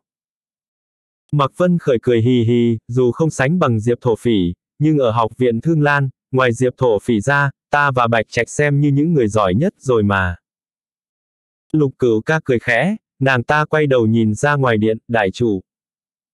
Sau đó, một người đàn ông trung niên dũng mãnh đi vào trong đại điện, gã ta nhìn về phía Mạc Vân Khởi. Mạc Vân Khởi đứng dậy đi sang một bên với đại chủ, một giây sau, Mạc Vân Khởi đột nhiên biến mất, xung quanh liên tục có tàn ảnh xuất hiện. Tốc độ cực kỳ năng. Nhưng ngay sau đó, ầm, um, một âm thanh lớn vang lên, Mạc Vân Khởi quay lại điểm ban đầu, còn người đàn ông tên đại trụ trước mặt hắn ta vẫn đứng yên tại chỗ. Thấy cảnh này, sắc mặt Mạc Vân Khởi và Bạch Trạch đều trở nên nặng nề. Đại trụ cúi chào Lục Cửu Ca và Khương Cửu, xoay người đi. Đại điện chợt trở nên yên tĩnh. Lục Cửu Ca nhìn Mạc Vân Khởi, sau khi cuộc họp kết thúc, ta sẽ dẫn bọn họ đến một nơi bí mật để đào tạo, ngươi và Bạch Trạch có thể đến, cũng có thể không đến. Ngoài ra còn có một chuyện, đó là học viện Thương Lan chúng ta sẽ sắp tiến quân đến Đại Vân Cảnh. Khương Cửu nhìn về phía Lục Cửu ca, muốn đến Đại Vân Cảnh phát triển à? Lục Cửu ca cười lắc đầu, Đại Vân Cảnh không phải mục tiêu của chúng ta, sở dĩ phải đến Đại Vân Cảnh là vì sau khi viện trưởng của chúng ta đến đó, nơi đó cũng sắp thay đổi người lãnh đạo rồi. Chúng ta phải chuẩn bị đi giúp đỡ bất cứ lúc nào. Tình thế thay đổi. Nghe vậy, xung quanh vô cùng yên tĩnh. Diệp Huyên đi Đại Vân Cảnh sẽ xảy ra chuyện gì sao? Rõ ràng là không. Một canh giờ sau, đạo binh của Lục Cửu Ca và học viện Thương Lan rời khỏi học viện, không biết đi về đâu. Chương 366, Nam giết hết, nữ giữ lại. Bạch Trạch và Mạc Vân Khởi cũng ở trong đó. Trong phòng riêng trên một chiếc thuyền bay, tại tháp giới ngục. Diệp Huyên đứng trong một góc của tầng thứ nhất, mà trước mặt hắn là một cái vỏ kiếm. Lúc này, thanh kiếm còn đang rung lên, rõ ràng là rất sợ hãi. Thanh kiếm bậc thiên. Vẻ mặt Diệp Huyên cực kỳ nghiêm túc, không phải vì thanh kiếm, mà là vì tòa tháp này. Bắt đầu từ khi nhận được tòa tháp này, nó vẫn luôn không ngừng đổi mới nhận thức của hắn. Cuối cùng là một tòa tháp như thế nào? Rốt cuộc kiếm tiên tỷ tỷ là người ra sao? Ba thanh kiếm trên đỉnh tháp là của ai? Hắn từng hỏi bản thân mình vô số lần như thế, đáng tiếc vẫn không nhận được câu trả lời. Diệp Huyên bình tĩnh lại, đối mặt với thanh kiếm bậc thiên trước mặt một lát, sau đó xoay người rời đi. Không chọn hấp thu nó. Vì với năng lực của hắn bây giờ vẫn chưa đủ hấp thu một thanh kiếm bậc thiên, hắn hấp thu bây giờ rất có khả năng sẽ bị thanh kiếm phản phệ, mà hắn chắc chắn không thể chống đỡ được. Hơn nữa kiếm liên tú mới là bậc chân hạ phẩm, nếu hấp thu thiên kiếm, rất có thể kiếm liên tú sẽ không còn tồn tại nữa. Không thể hấp thu. Sau khi rời khỏi tháp giới ngục, Diệp Huyên đi tới trên bong thuyền, có một vài người đang ở nơi này. Lần này hắn đi thuyền bay cũng không để lộ thân phận của mình, vì hắn muốn cho học viện thương mộc một niềm vui bất ngờ. Diệp Huyên đi tới đầu thuyền, từ vị trí này, hắn có thể cảm nhận được chân trời bao la, núi lớn hùng vĩ và mặt đất mênh mông vô bờ. Cảm nhận được tất cả những điều này, trái tim Diệp Huyên ngày càng bình tĩnh. Kiếm tu tu luyện kiếm, nhưng cũng luyện tâm, có thể nói là võ giả đều tu luyện tâm. Tâm có thiện tâm, cũng có ác tâm. Nhất niệm thiện, nhất niệm ác. Cái gì là thiện, cái gì là ác? Diệp Huyên không biết, cũng không muốn biết, hắn chỉ biết người ta tốt với mình thì mình cũng phải tốt với người ta. Mà không tốt với mình, đương nhiên phải ăn miếng trả miếng. Vị huynh đài này, xin tránh một chút. Lúc này, một giọng nói vang lên bên tai Diệp Huyên. Diệp Huyên thôi suy nghĩ, hắn quay đầu, một cô gái đứng trước mặt hắn, cô gái mặc váy dài màu mực, tóc xóa ngang vai, vóc dáng uyển chuyển, rất là tao nhã hờ hứng. Nhìn thấy vẻ ngoài của Diệp Huyên, cô gái hơi ngẩn ngươi, ngạc nhiên nói, đôi mắt của huynh. Nói đến đây, nàng ta phát hiện mình hơi mạo muội, lập tức cười áy náy, xin lỗi. Diệp Huyên cười khẽ, không sao. Nói xong, hắn lùi sang bên cạnh, vì khi nãy hắn đứng chặn lối đi. Cô gái gật nhẹ đầu, cảm ơn. Nói xong, nàng ta cũng đi về phía đầu thuyền bay. Cô gái nhìn xuống mặt đất mênh mông, nhếch miệng cười, sông núi thật đẹp. Nói xong, nàng ta nhìn về phía Diệp Huyên cách đó không xa, vị bằng hữu này cũng đến Đại Vân Cảnh sao. Diệp Huyên cười đáp, người trên thuyền bay này đều muốn đến Đại Vân Cảnh mà, không phải sao. Cô gái cười khẽ, Đại Vân Cảnh là nơi phồn hoa nhất của Thanh Châu ta.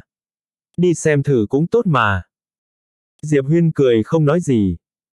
Lúc này, phía sau vang lên tiếng nói chuyện, cô gái quay đầu nhìn qua, cách đó không xa có mấy người đang bàn tán sôi nổi, rất náo nhiệt. Những người này đều đang bàn tán về Diệp Huyên. Bây giờ ở địa giới Thanh Châu, Diệp Huyên rõ ràng là người nổi tiếng nhất, còn trẻ như thế đã là kiếm chủ, mấy trăm năm qua, Thanh Châu còn chưa từng có kiếm chủ xuất hiện đấy.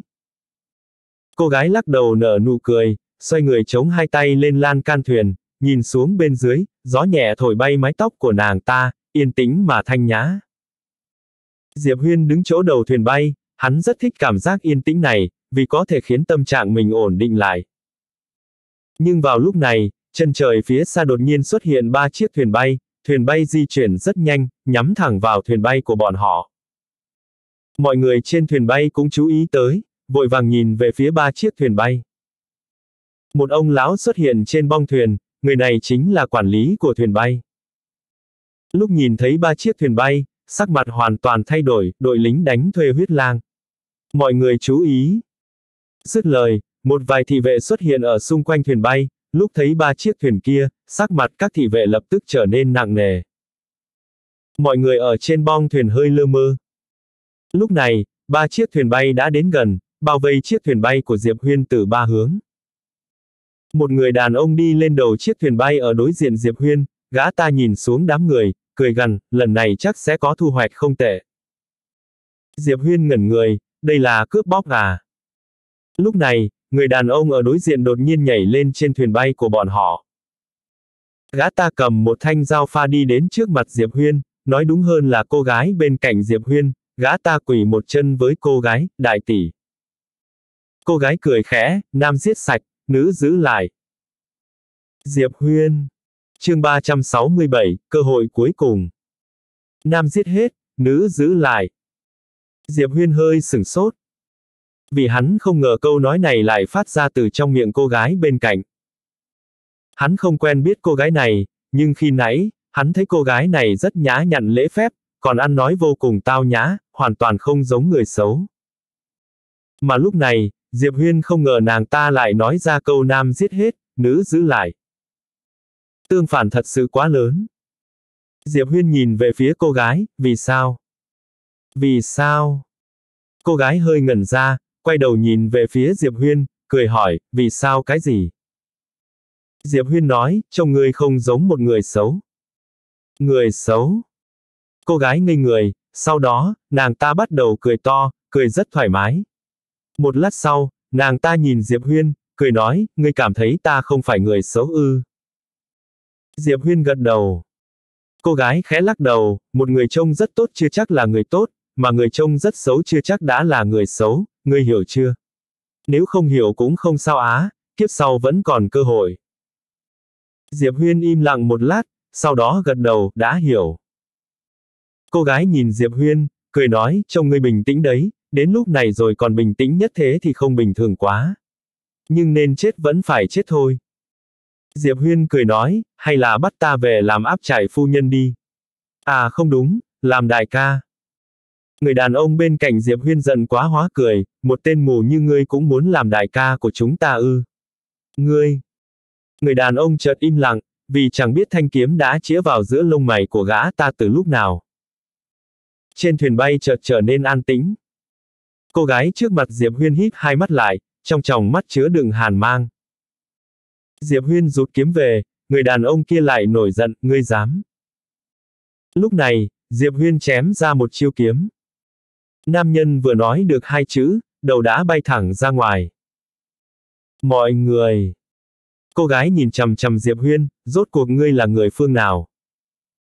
Lúc này, trong lòng nàng ta cũng cực kỳ khiếp sợ. Vì người bị Diệp Huyên giết là thần hợp cảnh, mà một cao thủ thần hợp cảnh còn chẳng có sức chống đỡ một kiếm này. Diệp Huyên đi tới trước mặt cô gái, hắn đứng rất gần cô gái, trên người cô gái tản ra mùi thơm nhàn nhạt. Diệp Huyên lắc đầu, rất xinh đẹp, vì sao phải làm chồng chứ? Cô gái nhẹ giọng đáp, cuộc sống ép buộc. Diệp Huyên gật đầu, ta cho ngươi một cơ hội được sống, ngươi có muốn không? Cô gái hơi cong môi, chỗ này của ta có 21 thần hợp cảnh, ngươi cho ta cơ hội được sống. Ngươi chắc chứ? Diệp Huyên chỉ tay phải sang bên phải, đầu của một người đàn ông trên chiếc thuyền bay bên tay phải lập tức bay ra ngoài. Thấy cảnh này, người trên thuyền bay đều sửng sốt. Lúc này cô gái trước mặt Diệp Huyên cũng hoảng hốt. Đây là vạn pháp cảnh sao? Quản sự thuyền bay ở bên kia như nghĩ đến cái gì, sắc mặt hoàn toàn thay đổi, nhưng lại nhanh chóng tỏ vẻ mừng như điên, còn có kích động và hưng phấn nữa. Diệp Huyên mở tay phải ra, một thanh kiếm xuất hiện trong tay hắn, hắn nhẹ nhàng lau máu trên thanh kiếm, sau đó sờ lên gò má cô gái. Trên mặt cô gái xuất hiện một đường máu. Diệp Huyên cười nói, một cơ hội cuối cùng, đầu hàng, hoặc là chết. Cô gái nhìn chầm chầm Diệp Huyên, rốt cuộc ngươi là ai? Diệp Huyên nói, ngươi vẫn chưa trả lời câu hỏi của ta đâu. Cô gái nhìn chầm chầm Diệp Huyên một lúc lâu, sau đó thốt lên, ngươi là Diệp Huyên. Diệp Huyên. Nghe thấy câu này, cả thuyền bay trở nên xôn xao. Thanh Châu bây giờ, ai chưa từng nghe nói đến Diệp Huyên chứ? Mọi người trên thuyền bay lập tức nhìn chầm chầm vào Diệp Huyên, có tò mò, có hưng phấn, cũng có nồng nhiệt. Kiếm chủ trẻ tuổi nhất địa giới Thanh Châu. Quản sự thuyền bay vội đi tới trước mặt Diệp Huyên, cúi thấp người tham kiến Diệp Quốc Sĩ. Không biết Diệp Quốc Sĩ ở trên thuyền bay, đã thất lễ rồi, mong Diệp Quốc Sĩ thứ lỗi. Diệp Huyên cười khẽ, không sao cả. Quản sự lại cúi chào một lần nữa, sau đó lùi sang một bên. Diệp Huyên nhìn cô gái, cơ hội sống, có muốn không? Cô gái nhếch miệng cười, ngươi xem thường người khác quá rồi. Dứt lời, nàng ta đột nhiên bay về phía sau, tốc độ vô cùng nhanh, nhanh như chớp giật, cùng lúc đó, một tia sáng bạc bắn thẳng đến giữa lông mày Diệp Huyên.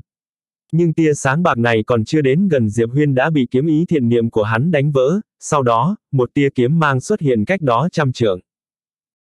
Cô gái đứng trong không cách đó trăm trượng đột nhiên cứng đờ người, một thanh kiếm đâm vào giữa lông mày cô ta. Cô ta đờ đẫn nhìn chân trời xa xôi, nhanh, nhanh quá. Diệp Huyên đứng trên thuyền bay mở tay phải ra, thanh kiếm giữa lông mày cô gái biến mất, lúc xuất hiện lần nữa đã nằm trong lồng bàn tay hắn, sau đó lại nhanh chóng bay ra, trong chốc lát, cả chân trời đều là phi kiếm đang qua lại. Mười giây sau, đội lính đánh thuê huyết lang đã chẳng còn một ai sống sót. Diệp Huyên thu gom chiến lợi phẩm, có tổng cộng 300 triệu kim tệ, cũng có hơn 500.000 linh thạch cực phẩm. Tổng cộng bây giờ hắn đã có gần 1 tỷ kim tệ, linh thạch cực phẩm trừ đi số trước khi đi sử dụng kim nhân thì còn khoảng 2 triệu. Chương 368, Cấm Linh Trận còn về những linh khí cực phẩm và trang bị bậc minh trước kia, hắn đều để lại học viện Thương Lan. Học viện Thương Lan cần những thứ này hơn hắn. Mà hắn cũng tin sau này học viện Thương Lan nhất định sẽ cho mình một niềm vui bất ngờ.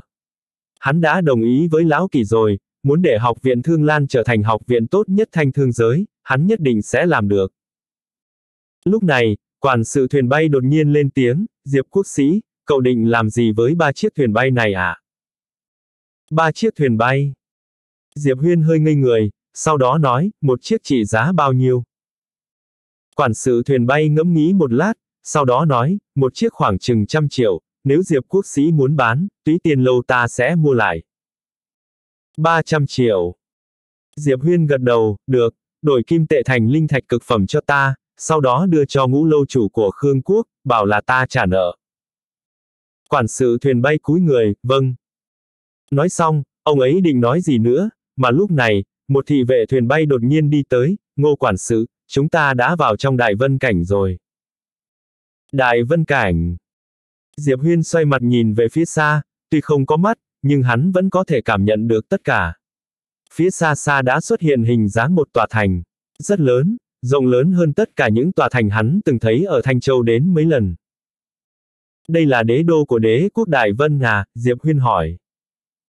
Quản sự thuyền bay lắc đầu, cười nói, Diệp quốc sĩ, đó không phải đế đô của đế quốc Đại Vân, mà là một tòa thành nhỏ ở biên giới đế quốc Đại Vân, tên là Nam Danh Thành, có khoảng 5 triệu người. Một tòa thành nhỏ. Diệp Huyên hơi khiếp sợ, phải biết rằng đế đô của Khương Quốc cũng không rộng lớn như thế đâu. Xem ra mình đánh giá quá thấp đế quốc Đại Vân rồi. Không chỉ mỗi đế quốc Đại Vân, e rằng thế giới ngầm và học viện thương mộc cũng không đơn giản như thế. Nhưng cũng bình thường, những thế lực này truyền thừa nhiều năm như vậy, chắc chắn đều không đơn giản. Ngô quản sự lại nói, Diệp quốc sĩ, lát nữa thuyền bay sẽ dừng lại trong thành một lát để nạp nhiên liệu. Nam danh thành này tuy là đô thành của đế quốc Đại Vân, nhưng lại cách đế đô quá xa, hơn nữa mấy năm nay đế quốc Đại Vân trở nên quá thối nát, vì thế rất nhiều nơi khá loạn, đặc biệt là tòa thành nhỏ xa xôi này, rất lộn xộn, nếu Diệp quốc sĩ muốn rời thuyền thì xin cẩn thận. Diệp Huyên gật đầu, được. Hắn như nghĩ đến điều gì, lại hỏi, trong thành có học viện thương mộc không? Ngô quản sự gật đầu có, học viện thương mộc, thế giới ngầm và đại thế gia thâm nhập vào tất cả các thành phố ở đế quốc Đại Vân, có một vài tòa thành thậm chí có thể xem là của học viện thương mộc và những thế gia này rồi. Nếu không vì đế quốc Đại Vân có kháo sơn vương kia, e rằng cả đế quốc Đại Vân đã bị những thế lực này chia cắt hoàn toàn. Kháo sơn vương. Diệp Huyên thầm nhớ rõ ba chữ này, gật nhẹ đầu ta hiểu rồi. Ngô quản sự cúi chào, sau đó xoay người đi xa. Thuyền bay nhanh chóng tiến vào Nam Danh Thành, sau đó từ từ đáp xuống.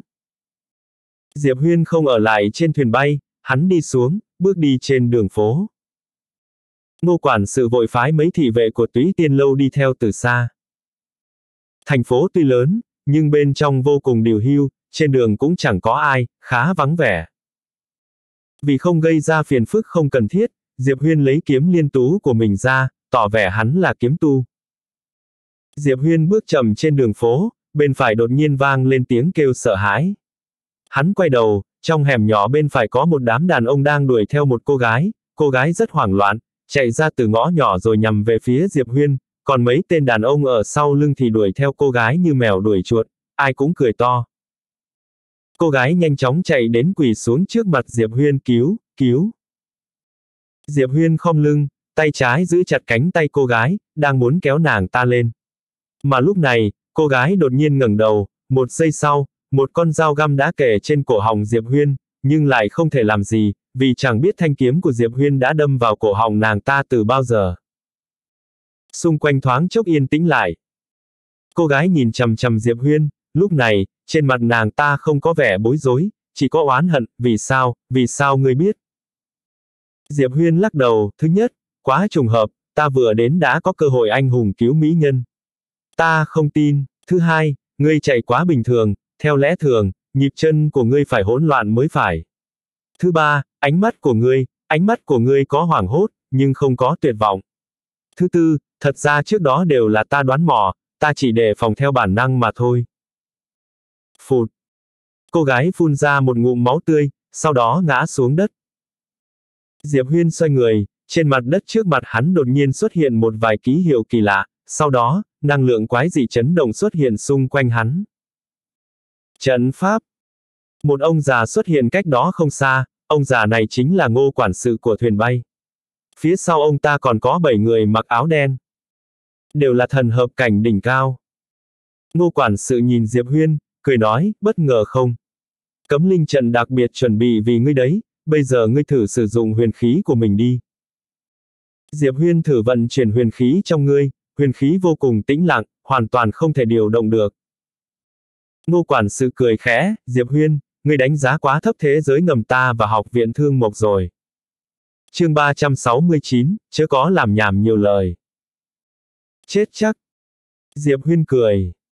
Ngay khi thấy Diệp Huyên nở nụ cười, ngô quản sự lập tức nhíu chặt mày, hắn còn con át chủ bài nào sao? Ngô quản sự không nghĩ nhiều, vung tay phải lên, giết. Vừa dứt lời, bảy tên áo đen ở phía sau lưng sông thẳng tới. Bọn chúng đều là sát thủ đỉnh cao, tốc độ cực nhanh, chỉ trong nháy mắt đã xông tới trước mặt Diệp Huyên. Hiển nhiên cấm linh trận chỉ có tác dụng với mình Diệp Huyên, vậy nên những người áo đen này không hề bị ảnh hưởng. Nhưng đúng vào lúc này, bịch bịch bịch bịch bịch, những tiếng kêu trầm đục không ngừng vang lên, đám người áo đen kia liên tục lùi ra sau. Sắc mặt ngô quản sự lập tức thay đổi. Bởi vì có năm kim nhân đứng ở trước mặt Diệp Huyên. Năm kim nhân này không hề bị cấm linh trận ảnh hưởng tới. Đương nhiên kim nhân sẽ không bị cấm linh trận ảnh hưởng, bởi vì trận pháp trong cơ thể năm kim nhân này cao cấp hơn cấm linh trận rất nhiều. Sau khi đánh lui đám người áo đen về sau, nam kim nhân đột nhiên đấm điên loạn xuống dưới mặt đất. Khi thấy cảnh này, ngô quản sự nheo mắt lại, rút lui. Rút lui. Mấy người ngô quản sự xoay người chạy trốn. Ngay khi biết trận pháp không có tác dụng gì cả, ngô quản sự quyết đoán chọn cách rút lui, bởi vì một khi trận pháp bị phá, Diệp Huyên sẽ là vô địch dưới vạn pháp cảnh. Không thể địch lại. Mấy người ngô quản sự còn chưa chạy được bao xa thì một tiếng nổ lớn đột nhiên vang lên ở phía sau lưng. Trận pháp đã bị phá hủy. Trong lòng ngô quản sự hốt hoảng vô cùng, đột ngột tăng tốc độ. Nhưng đúng lúc này có một thanh kiếm xuất hiện ở trước mặt ngô quản sự, đồng tử ngô quản sự co lại, vừa định ra tay thì thanh kiếm đó đã xuyên qua chán. Không hề có sức đáp trả.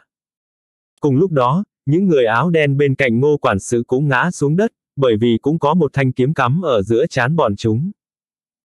Ở phía sau lưng bọn chúng, Diệp Huyên chậm rãi đi tới. Khi nhìn những thi thể trên mặt đất, Diệp Huyên lắc đầu, lãng phí linh thạch của ông đây. Vừa dứt lời, tay hắn vung lên, những thanh kiếm kia lập tức bay trở về hộp kiếm ở trong tay hắn.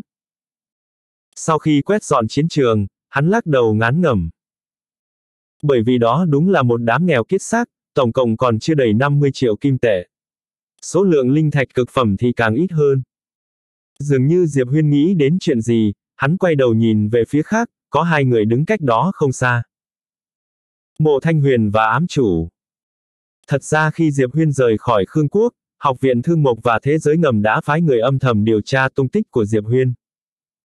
Đương nhiên là bọn chúng sẽ nắm giữ được hành tung của Diệp Huyên. Phải biết khi Diệp Huyên tới Đại Vân Cảnh, bọn họ đã luống cuống tay chân rồi. Trước đó Diệp Huyên luôn bị động phòng ngự, nhưng hiện giờ Diệp Huyên lại chủ động tấn công. Dưới tình hình vạn pháp cảnh không thể ra tay, có ai ngăn cản nổi Diệp Huyên chứ? Không có ai cả.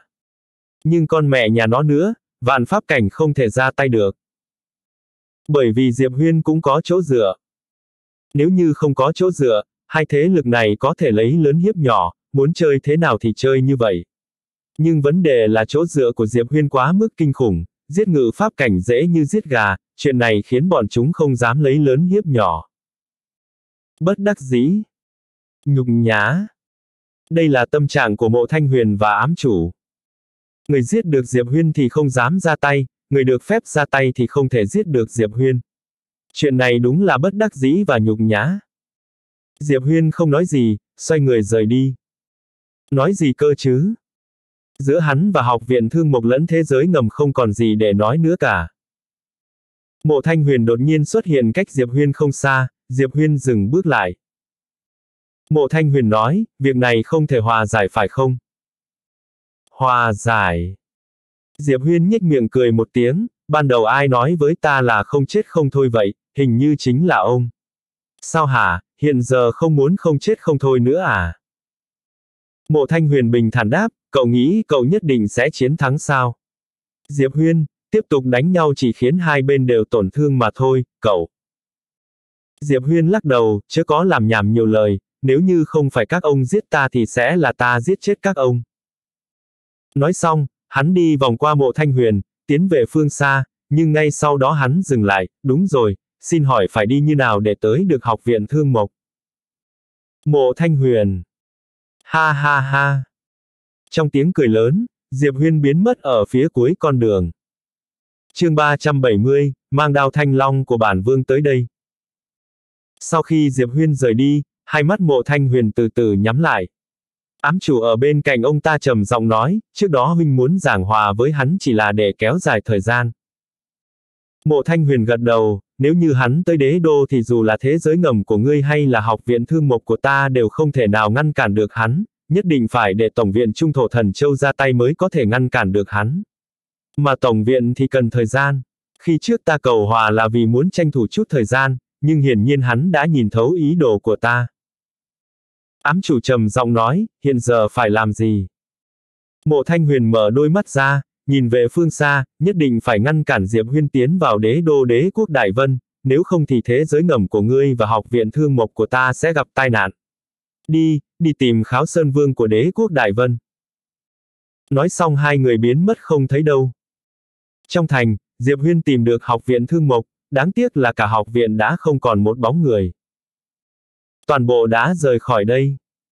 Không chỉ là toàn bộ người rời đi, tất cả những thứ đáng tiền bên trong học viện thương mộc đều bị mang đi. Điều này khiến Diệp Huyên không kìm được chửi thề một câu. Diệp Huyên không dừng lại lâu thêm, xoay người rời khỏi. Mục tiêu hiện giờ của hắn chính là đế đô Đại Vân. Hoàng cung Đại Vân. Một cô gái ngồi bên cạnh một hồ nước, hai chân nàng ta vung vẩy trong hồ, có rất nhiều con cá màu đen tập trung quanh hai chân nàng ta. Cô gái cúi đầu nhìn đàn cá con ở trong hồ, chân chân ngọc trắng nón nhẹ nhàng vung vẩy. Khi thấy đàn cá con kia không ngừng hút chân mình, khóe miệng nữ tử cong lên. Đúng lúc này, có một cô gái mặc áo giáp, hồng đeo trường kiếm đi tới trước mặt cô gái ở bên cạnh hồ, hơi khom lưng xuống, ngô vương, mộ viện trưởng, ám chủ cầu kiến. Khóe miệng cô gái đó hơi cong lên, nở một nụ cười quyến rũ động lòng người cho mời. Cô gái mặc áo giáp quay người rời đi. Sau đó, mộ thanh huyền và ám chủ đi tới bên hồ, khi thấy cô gái ở bên hồ, mộ thanh huyền khẽ khom lưng xuống, liên cô nương. Thái độ rất khách khí. Thật ra ông ta không dám không khách khí. Đừng thấy hiện giờ đế quốc Đại Vân thua kém khi trước nhưng cũng không có bất kỳ ai dám coi thường cả, dù sao đế quốc Đại Vân từng là bá chủ đứng đầu Thanh Châu. Và lại liên vạn lý ở trước mặt họ thâm sâu khó lường, ít nhất hiện giờ học viện thương mộc và thế giới ngầm cũng không biết thực lực thật của liên vạn lý. Liên vạn lý từ tốn đứng dậy, đi tới trước mặt hai người, mỉm cười nói, hai vị tới đây là vì tên Diệp Huyên kia sao? Mộ Thanh Huyền gật đầu, đúng vậy, hai người chúng ta muốn cầu viện cô nương. Liên Vạn Lý cười nói, khách khí rồi. Học viện Thương Mộc, thế giới ngầm và đế quốc Đại Vân ta vốn là một thể, nên hỗ trợ lẫn nhau. Như này nhé, ta sẽ điều động 50 kỵ binh hắc diễm quân. Hai vị thấy thế nào? Mộ Thanh Huyền mừng rơn, vội vàng nói, được như vậy thì không còn gì tốt hơn rồi. Liên vạn lý mỉm cười, nhưng cũng phải có một câu trả lời cho mấy lão già cứng đầu trong triều, bản vương hy vọng hai vị sẽ trả chút thù lao. Không nhiều đâu, trả 10 triệu linh thạch cực phẩm lấy lệ là đủ, được chứ hả? Mộ Thanh Huyền và ám chủ hơi do dự. Liên vạn Lý Bình thản nói, hai vị cảm thấy không đáng hả? Mộ Thanh Huyền cười khổ, đáng, đương nhiên là đáng giá này rồi, 10 triệu thì 10 triệu. Liên vạn Lý cười đáp, thoải mái lắm. Ừm, tên Diệp Huyên kia cũng không hề đơn giản, sợ rằng 50 kỵ binh hắc diễm cũng không đủ, như thế này đi, ta sẽ triệu tập các thế gia lớn, bảo bọn họ cũng bỏ một phần sức lực, chỉ cần tất cả cường giả trong đại vân cảnh bắt tay với nhau, muốn trừ bỏ Diệp Huyên cũng không phải là việc gì khó. Mộ Thanh Huyền cười đáp, đương nhiên như vậy là tốt nhất, trong lãnh thổ đại vân ta, chỉ cần trên dưới một lòng thì cần gì phải sợ Diệp Huyên chứ. Diệp Huyên liên vạn lý nhíu chặt mày, chỉ là ta e những thế gia này sẽ không chịu phối hợp.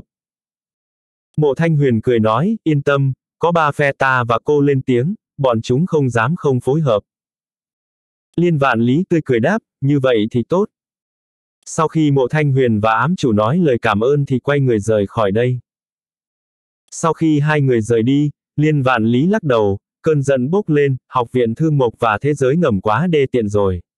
Đông người như vậy bắt nạt một người, đúng là không biết xấu hổ mà, bản vương không thể chịu đựng được. Lấy đao thanh long nặng ngàn cân của bản vương tới đây, bản vương phải gọt lê. Cô gái mặc áo giáp. chương 371, dùng thuốc. Đế đô Đại Vân. Sau khi rời khỏi Nam Danh Thành, Diệp Huyên ngồi thuyền bay, đích đến của thuyền bay chính là đế đô Đại Vân.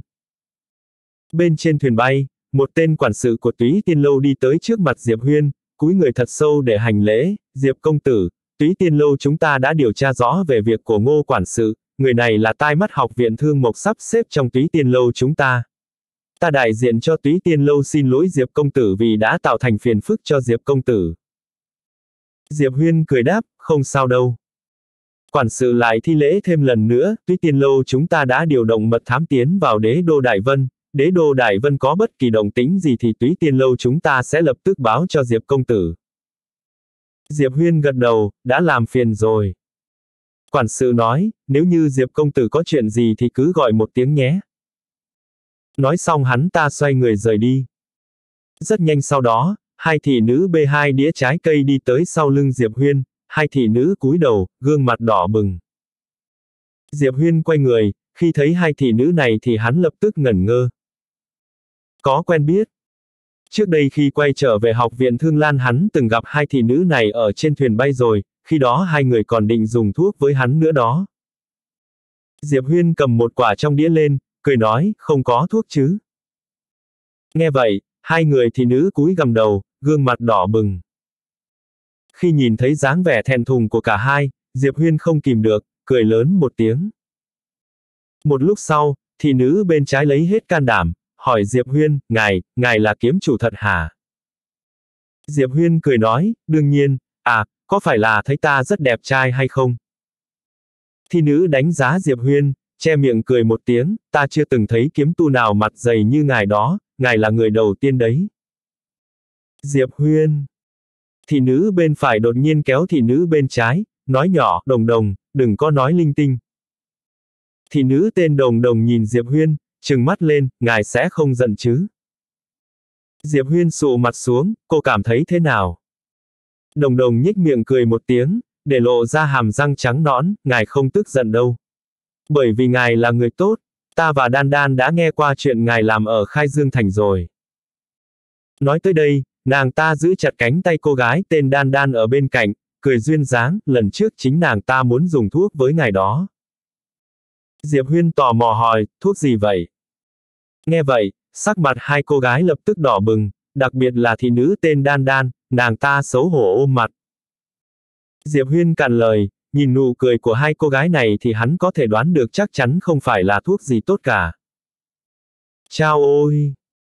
Diệp Huyên thở dài một tiếng, mình quá đẹp trai đã khiến nhiều cô gái phạm tội mất rồi.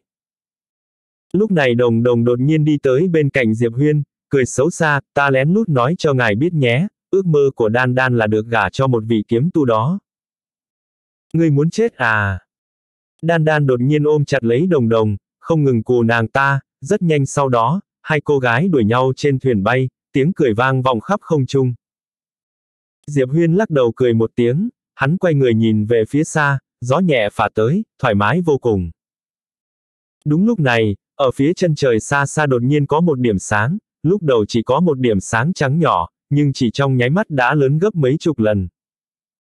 Sắc mặt Diệp Huyên lập tức thay đổi, hắn quay người lại cẩn thận.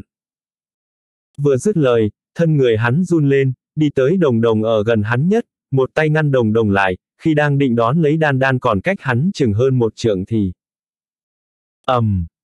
Một chùm sáng dài tới trăm trượng đột nhiên bắn vào thuyền bay, ngay lập tức, toàn bộ thuyền bay vỡ nát, vô số mảnh vụn bắn ra xung quanh. Trên không trung, Diệp Huyên ôm hai cô gái rơi nhanh xuống dưới. Sau lưng hắn là kiếm ý thiện niệm, kiếm ý thiện niệm không ngừng bị hủy diệt, mỗi một lần như vậy, có một gióng máu tràn ra từ nơi khóe miệng của Diệp Huyên. Rất nhanh sau đó, khi sắp hạ xuống đất, một thanh kiếm đột nhiên cản hắn lại, thân kiếm chịu đựng phần lớn lực rơi, nhờ vậy, Diệp Huyên ôm hai cô gái từ từ hạ xuống dưới đất. Diệp Huyên vội vàng đặt hai cô gái trong ngực xuống đất, khi hắn nhìn thấy tình trạng của hai người, sắc mặt lập tức sầm lại. Đồng đồng thì vẫn ổn, bởi vì lúc đó hắn che cho nàng ta trước, bởi vậy nàng ta không có vấn đề gì. Nhưng đan đan thì gánh chịu chùm sáng xung kích trước tiên, kinh mạch và nội tạng trong cơ thể nàng ta đã bị nát. Diệp Huyên vội vàng lấy một viên đan kim sang ra đút cho đan đan, nhưng máu tươi trong miệng nàng ta vẫn không ngừng trào ra ngoài.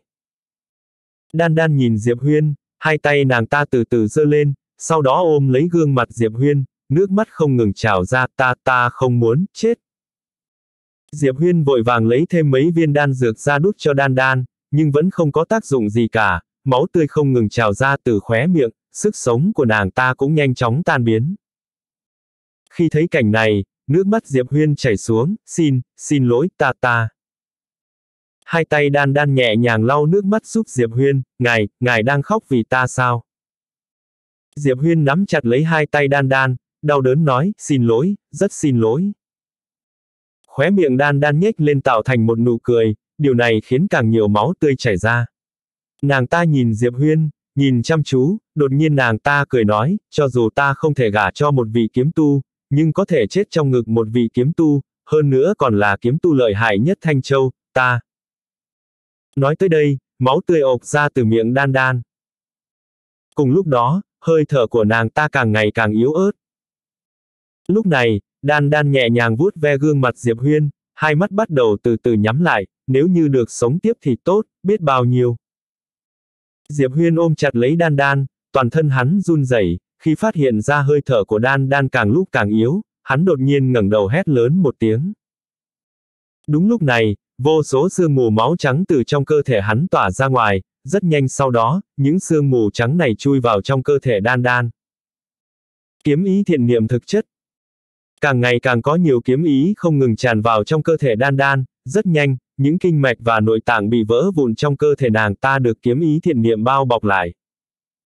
Lúc này, một ông lão đột nhiên hạ xuống bên cạnh Diệp Huyên, ông lão này bước nhanh tới trước mặt Diệp Huyên, Diệp quốc sĩ, lão phu là lục lâu chủ của túy tiên lâu, ngươi. Diệp Huyên vội vàng nói, kiểm tra cho nàng ta đi, mau kiểm tra cho nàng ta đi. Lục lâu chủ nhìn đan đan ở trong ngực Diệp Huyên, tay phải ông ta đặt lên kiểm tra mạch cho đan đan, sau đó ông ta nhíu chặt mày lại, tuy rằng nội tạng của nàng ta được kiếm ý của Diệp quốc sĩ bảo vệ, nhưng... Làm thế nào mới cứu được, Diệp Huyên cắt ngang lời lục lâu chủ. chương 372, chỉ là hai thị nữ thấp hèn. Lục lâu chủ trầm giọng nói, đan hộ tâm. Loại đan dược này có thể bảo vệ tim và kinh mạch của nàng ta, đồng thời từ từ chữa khỏi. Chỉ là một viên sợ rằng không đủ, nhất định phải sử dụng trong thời gian dài, nhưng một viên đan hộ tâm này cần 60 triệu kim tệ, nàng ta. Diệp Huyên nói, ta trả số tiền này, lập tức lấy ra đi. Lục lâu chủ nhìn Diệp Huyên, do dự trong giây lát, sau đó ông ta nói, Diệp công tử, nàng ta chỉ là một thị nữ mà thôi, ngươi. Diệp Huyên đột nhiên nhìn về phía lục lâu chủ, gầm lớn, mạng của thị nữ thì không đáng tiền hả. Lục lâu chủ không nói gì nữa, ông ta quay người rời đi, chừng 5 phút sau ông ta trở lại trước mặt Diệp Huyên, ông ta đưa cho Diệp Huyên một cái bình ngọc trắng. Diệp Huyên vội vàng mở bình ngọc trắng, sau đó đổ một viên đan dược ra, đút cho đan đan. Vừa nuốt đan hộ tâm vào, một luồng năng lượng kỳ lạ tỏa ra khắp cơ thể của đan đan. Rất nhanh sau đó, hơi thở của đan đan dần ổn định lại. Khi cảm nhận được điều này, Diệp Huyên thở phào nhẹ nhõm.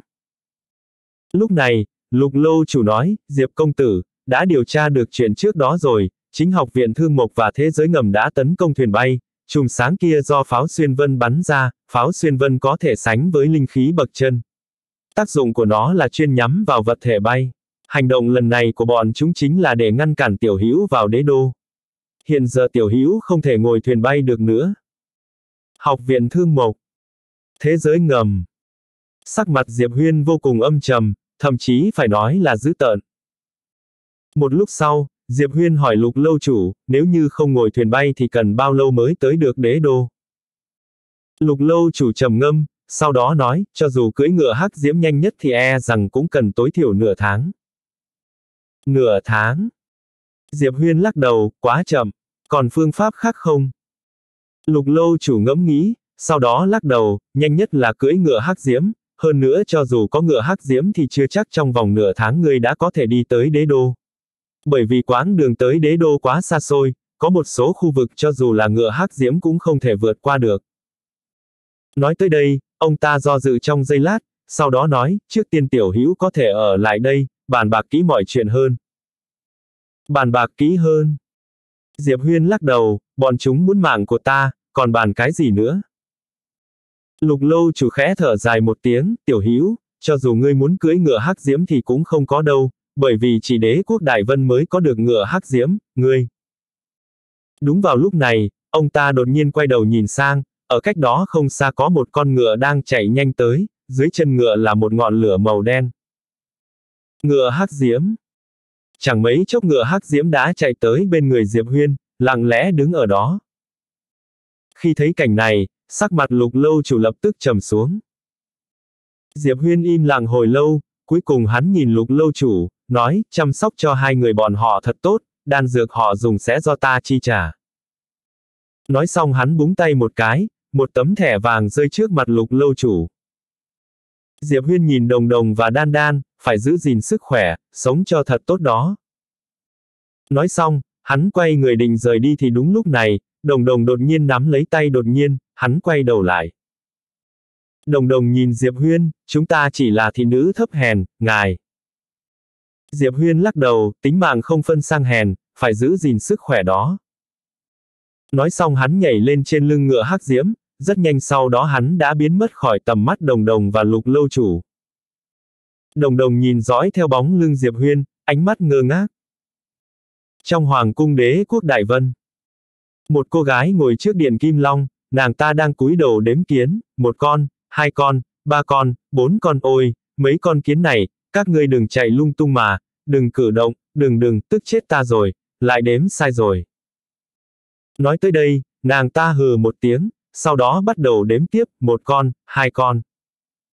Lúc này, một cô gái mặc áo giáp đi tới bên cạnh cô gái đó, Ngô Vương, học viện thương mộc và thế giới ngầm đã ra tay thêm lần nữa. Một lúc sau, cô gái đột nhiên ngẩng đầu lên nhìn về phía cô gái mặc áo giáp, vì cứu hai thị nữ đó mà hắn không tiếc tiền, bỏ ra mấy trăm triệu kim tệ. Cô gái mặc áo giáp gật đầu. Cô gái kia im lặng một giây, sau đó tươi cười, rất thú vị đó. Cô gái mặc áo giáp nói tiếp, kỵ binh hắc diễm và cường giả của các thế gia đã tới đó ngăn cản. Ngô Vương. Cô gái kia phất phất tay, đừng làm phiền ta, ta phải đếm rõ được số kiến ở đây. Một con, hai con, ba con. Cô gái mặc áo giáp. Chương 373, ra tay không. Học viện Thương Mộc. Hiện giờ tất cả đạo sư và các vị trưởng lão của học viện Thương Mộc đều đã tập trung ở trong đại điện. Có 9 vị cường giả vạn pháp cảnh ở bên trong đại điện. Ngồi ở ghế chủ chính là mộ thanh huyền. Mộ thanh huyền nhìn mọi người ở trong điện, với tốc độ của Diệp Huyên hiện giờ, chỉ cần chưa đầy nửa tháng là sẽ tới đế đô. Đến khi đó, vạn pháp cảnh không ra tay, trong đế đô không có bất kỳ ai có thể ngăn cản được hắn. Nếu như hắn tới học viện thương mục chúng ta, vậy chúng ta chỉ có thể trơ mắt nhìn hắn đột sát học viên mà thôi. Vạn pháp cảnh không thể ra tay. Sắc mặt tất cả mọi người ở đó đều trầm xuống. Bọn chúng cũng muốn ra tay, nhưng vì kiếm tiên kia lại như một thanh kiếm treo trên đỉnh đầu bọn chúng, khiến bọn chúng không dám hành động thiếu suy nghĩ. Lý Mục ở Trung Thổ Thần Châu chính là ví dụ tốt nhất. Ông ta là cường giả ngự pháp cảnh đó, nhưng cuối cùng vẫn chết, hơn nữa chết một cách nhục nhã. Khó giải quyết. Đây là một tình thế không thể giải quyết. Lúc này, một ông lão đột nhiên đứng dậy, với cục diện hiện giờ thì hiển nhiên không thể cầu hòa được. Nếu đã như vậy thì đương nhiên chúng ta chỉ còn cách liều chết đánh một trận. Nói xong ông ta nhìn về phía bộ thanh huyền, Tổng viện đã trả lời chưa? Tổng viện. Nghe vậy, tất cả những người có mặt đều nhìn về phía mộ thanh huyền. Hy vọng duy nhất của bọn chúng bây giờ chính là Tổng viện học viện Thương Mộc. Mộ thanh huyền gật đầu, Tổng viện cần thời gian. Bao lâu, ông lão hỏi. Mộ thanh huyền trầm giọng đáp, ít nhất một tháng. Ông lão nhíu mày lại, vì sao lại lâu như vậy? Nếu như sử dụng truyền tống trận, từ Trung Thổ Thần Châu tới Thanh Châu chỉ cần mấy ngày, vì sao lại lâu vậy hả? Mộ Thanh Huyền nhìn ông lão này, người nghĩ trong thế hệ trẻ tuổi ở Tổng viện có ai chém giết được Diệp Huyên hay sao? Nghe vậy, tất cả mọi người lập tức im lặng. Hiện giờ bọn chúng mới bất ngờ nhận ra rằng đừng nói là học viện thương mục đại vân cảnh không có ai ngăn cản được Diệp Huyên, cho dù là ở Tổng viện Trung Thổ Thần Châu, trong thế hệ trẻ tuổi cũng không có bất kỳ ai áp chế được Diệp Huyên. Ở Trung Thổ Thần Châu, trừ những yêu nghiệt trong 10 vị trí đầu của bảng yêu nghiệt ra thì không còn bất kỳ người trẻ tuổi nào áp chế được Diệp Huyên nữa.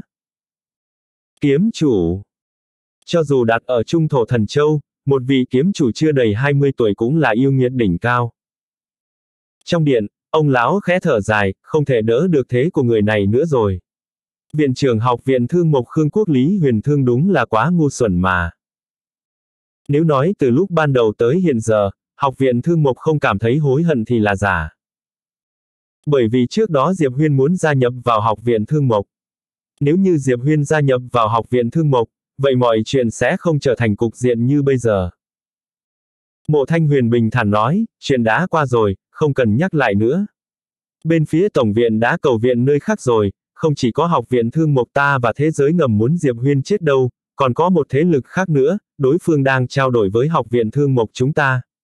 Hiện giờ chúng ta cần ngăn cản Diệp Huyên tiến vào đế đô, ít nhất là trong vòng một tháng tới, không thể để hắn tiến vào đế đô. Ở bên dưới, ông lão trầm giọng nói, Diệp Huyên có được một con ngựa hắc diễm, chắc hẳn là có người âm thầm giúp đỡ, liệu có phải là đế quốc Đại Vân không? Dù sao chỉ mình đế quốc Đại Vân có được ngựa hắc diễm. Mộ Thanh Huyền lắc đầu, đế quốc Đại Vân và Diệp Huyên có ân oán, bọn họ không có lý do gì để giúp đỡ Diệp Huyên cả.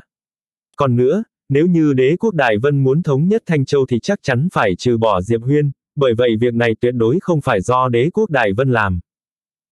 Nói tới đây, dường như ông ta nghĩ đến chuyện gì, trong mắt tỏa ra ánh sáng lạnh lẽo, rất có thể việc này do túy tiên lâu làm.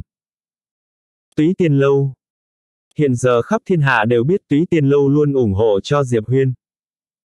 Lúc này không gian trước mặt mộ thanh huyền đột nhiên rung động, chừng 15 phút sau, mộ thanh huyền nhìn mọi người ở bên dưới, hưng phấn nói, lần này Diệp Huyên chết là chắc rồi. Truyền lệnh, dùng toàn lực ngăn cản Diệp Huyên vào đế đô, chờ viện binh tới. Rõ. Trong điện, mọi người cùng hô lên, sau đó nhanh chóng rút lui. Khương Quốc, Học viện Thương Lan. Trước điện Thương Lan, Mạc Nguyên ngồi trước thêm đá, Phong Lam ở bên cạnh ông ta. Mạc Nguyên nhìn bức thư ở trên tay, một lúc sau, bức thư trong tay ông ta bùng cháy. Sao vậy? Phong Lam hỏi. Mạc Nguyên nói, hắn đã tới Đại Vân Cảnh, học viện thương mộc và thế giới ngầm đang dốc hết sức để ngăn cản hắn vào đế đô Đại Vân Cảnh. Tình hình của hắn hiện giờ e rằng không được tốt lắm. Phong Lam trầm giọng nói, ra tay không? Mạc Nguyên lắc đầu, nếu nho đạo chúng ta ra tay, cho dù hiện giờ có thể giải vậy được cho hắn nhưng cũng sẽ dẫn thêm nhiều phiền toái hơn cho hắn. Thông báo cho lục nha đầu, bảo nàng ta sẵn sàng chuẩn bị cho đội đạo binh kia tiến vào đại vân cảnh. Phong Lam trầm giọng nói, cho dù đội đạo binh kia tu luyện tâm pháp binh ra nhưng thời gian rèn luyện khá ngắn, sợ rằng lực chiến không đủ. Mạc Nguyên cười đáp, nếu như không trải qua chiến đấu thì đội đạo binh này vĩnh viễn không thể trưởng thành được. Phong Lam ngẫm nghĩ, sau đó gật đầu, đúng vậy. Nói xong ông ta đứng dậy rời đi. Mạc Nguyên ngẩng đầu nhìn về phía chân trời, nói nhỏ, học viện thương mộc, ta khuyên các ngươi phải sống lương thiện. Trong dãy núi mênh mông, Diệp Huyên cưỡi ngựa hắc diễm phi nước đại. Không thể không thừa nhận tốc độ của ngựa hắc diễm cực nhanh, nếu là người bình thường thì tuyệt đối không thể chịu đựng được tốc độ của ngựa hắc diễm, bởi vì nó quá nhanh đi. Trên lưng ngựa, sắc mặt Diệp Huyên không chút cảm xúc, hắn cõng một hộp kiếm ở sau lưng, bên trong hộp kiếm có chứa bảy thanh kiếm. Nửa canh giờ sau, Diệp Huyên đi tới một tòa thành cổ. Bình Dương Thành Đại Vân Cảnh không giống như Khương Quốc, Đại Vân Cảnh quá mức to lớn, nếu như cứ bị quấn chân như vậy, đừng nói là nửa tháng, cho dù là hai tháng thì chưa chắc hắn đã tới được đế đô Đại Vân. Sau khi tiến vào Bình Dương Thành, Diệp Huyên không hề dừng chân mà tiếp tục đi tới đế đô, chỉ là khi hắn đi tới trước cửa thành, cửa thành đã bị đóng chặt. Trên tường thành, có chừng 50 tên áo đen xuất hiện, trong tay những tên áo đen này đều cầm trường cung, tên đã cài lên dây, trừ đó ra, có chừng mấy nghìn tên thị vệ tay cầm trường thương đột nhiên xuất hiện ở sau lưng Diệp Huyên. Hiển nhiên nơi đây sớm đã có mai phục. Trên tường thành, một ông lão đột nhiên xuất hiện, ông lão nhìn chằm chằm vào Diệp Huyên, Diệp Huyên, nơi đây không phải là Khương Quốc, không phải chỗ ngươi muốn đến thì đến, muốn. chương 374, giết tới chết lặng.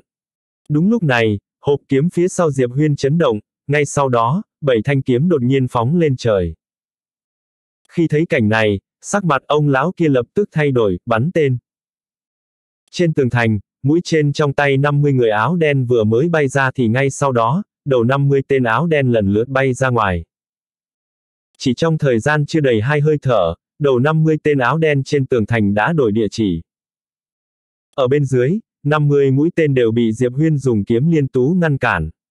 Bởi vì những mũi tên này không nhanh bằng kiếm của hắn, phải nói là hoàn toàn không thể không sánh với nhau. Rất nhanh sau đó, bảy thanh kiếm lần lượt bay trở về hộp kiếm, ở sau lưng Diệp Huyên, đám binh sĩ kia sững sờ chôn chân tại chỗ, không có bất kỳ ai dám ra tay. Diệp Huyên cầm kiếm liên tú chỉ về phía ông lão trước cửa thành, ông ngăn được sao? Vừa dứt lời, ngựa hắc diễm dưới người hắn nhảy vòng lên, phóng thẳng về phía cửa thành. Cùng lúc đó, một thanh kiếm chém lên trên cửa thành. ầm, um. Cửa thành ầm ầm vỡ nát, Diệp Huyên nhanh chóng rời đi. Ở bên ngoài thành, Diệp Huyên đột nhiên ngừng lại, bởi vì cách chỗ hắn mấy trăm trượng có chừng một nghìn kỵ binh. Kỵ binh Đại Vân. Trước đội kỵ binh, một tên tướng lĩnh cầm đầu đột nhiên gầm lớn, giết. Vừa dứt lời, một nghìn kỵ binh xông thẳng về phía Diệp Huyên. Một nghìn kỵ binh không nhiều, nhưng nếu tạo thành một đội cùng nhau công kích, vậy thì sức mạnh của bọn họ cũng rất kinh khủng. Mặt Diệp Huyên không chút cảm xúc, hai chân đạp nhẹ vào ngựa hắc diễm, thân thể hắn xông ra bên ngoài, khi hắn vừa chạm xuống dưới đất thì chân phải của hắn đạp nhẹ một cái, thân thể lại bay vọt lên. Cùng lúc đó, bảy thanh kiếm bên trong hộp kiếm đột nhiên bay ra ngoài. Vù vù vù vù vù. Cách đó 10 trượng, hơn 30 tên kỵ binh gần như ngã xuống cùng một lúc. Đám kỵ binh kia cũng lập tức vây kín lấy Diệp Huyên. Yên lặng trong chớp mắt. Có một tiếng kiếm ngân vang lên từ trong đám kỵ binh, ngay sau đó, bảy luồng kiếm quang bắn ra từ giữa đám kỵ binh này, những nơi kiếm quang đi qua, từng mảng kỵ binh đại vân bị chặt ngang. Trước cửa thành, ông lão khi trước nhìn chầm chầm vào Diệp Huyên đứng giữa kỵ binh đại vân, tay ông ta không ngừng run rẩy. Diệp Huyên. Trước đó ông ta chỉ mới nghe tên Diệp Huyên, ông ta không hề hiểu rõ quá sâu về hắn, nhưng hiện giờ thì ông ta đã hiểu rồi. Kiếm chủ. Một vị kiếm chủ chưa đầy 20 tuổi nhưng thực lực lại kinh khủng tới mức vậy. Lúc này, ở cách đó không xa, đã có gần 300 kỵ binh ngã xuống, càng ngày càng có nhiều kỵ binh ngã xuống đất. Không có bất kỳ ai ngăn cản được kiếm của Diệp Huyên. Chừng 15 phút sau, chỉ còn lại chưa đầy 500 kỵ binh còn sống sót.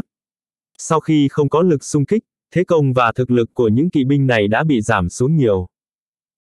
Đồ sát. Diệp Huyên vẫn đang đồ sát. Nửa canh giờ sau, chỉ còn lại chưa đầy 100 kỵ binh còn sống, hiện giờ 100 kỵ binh này cách Diệp Huyên khá xa. Khắp nơi xung quanh Diệp Huyên là thi thể.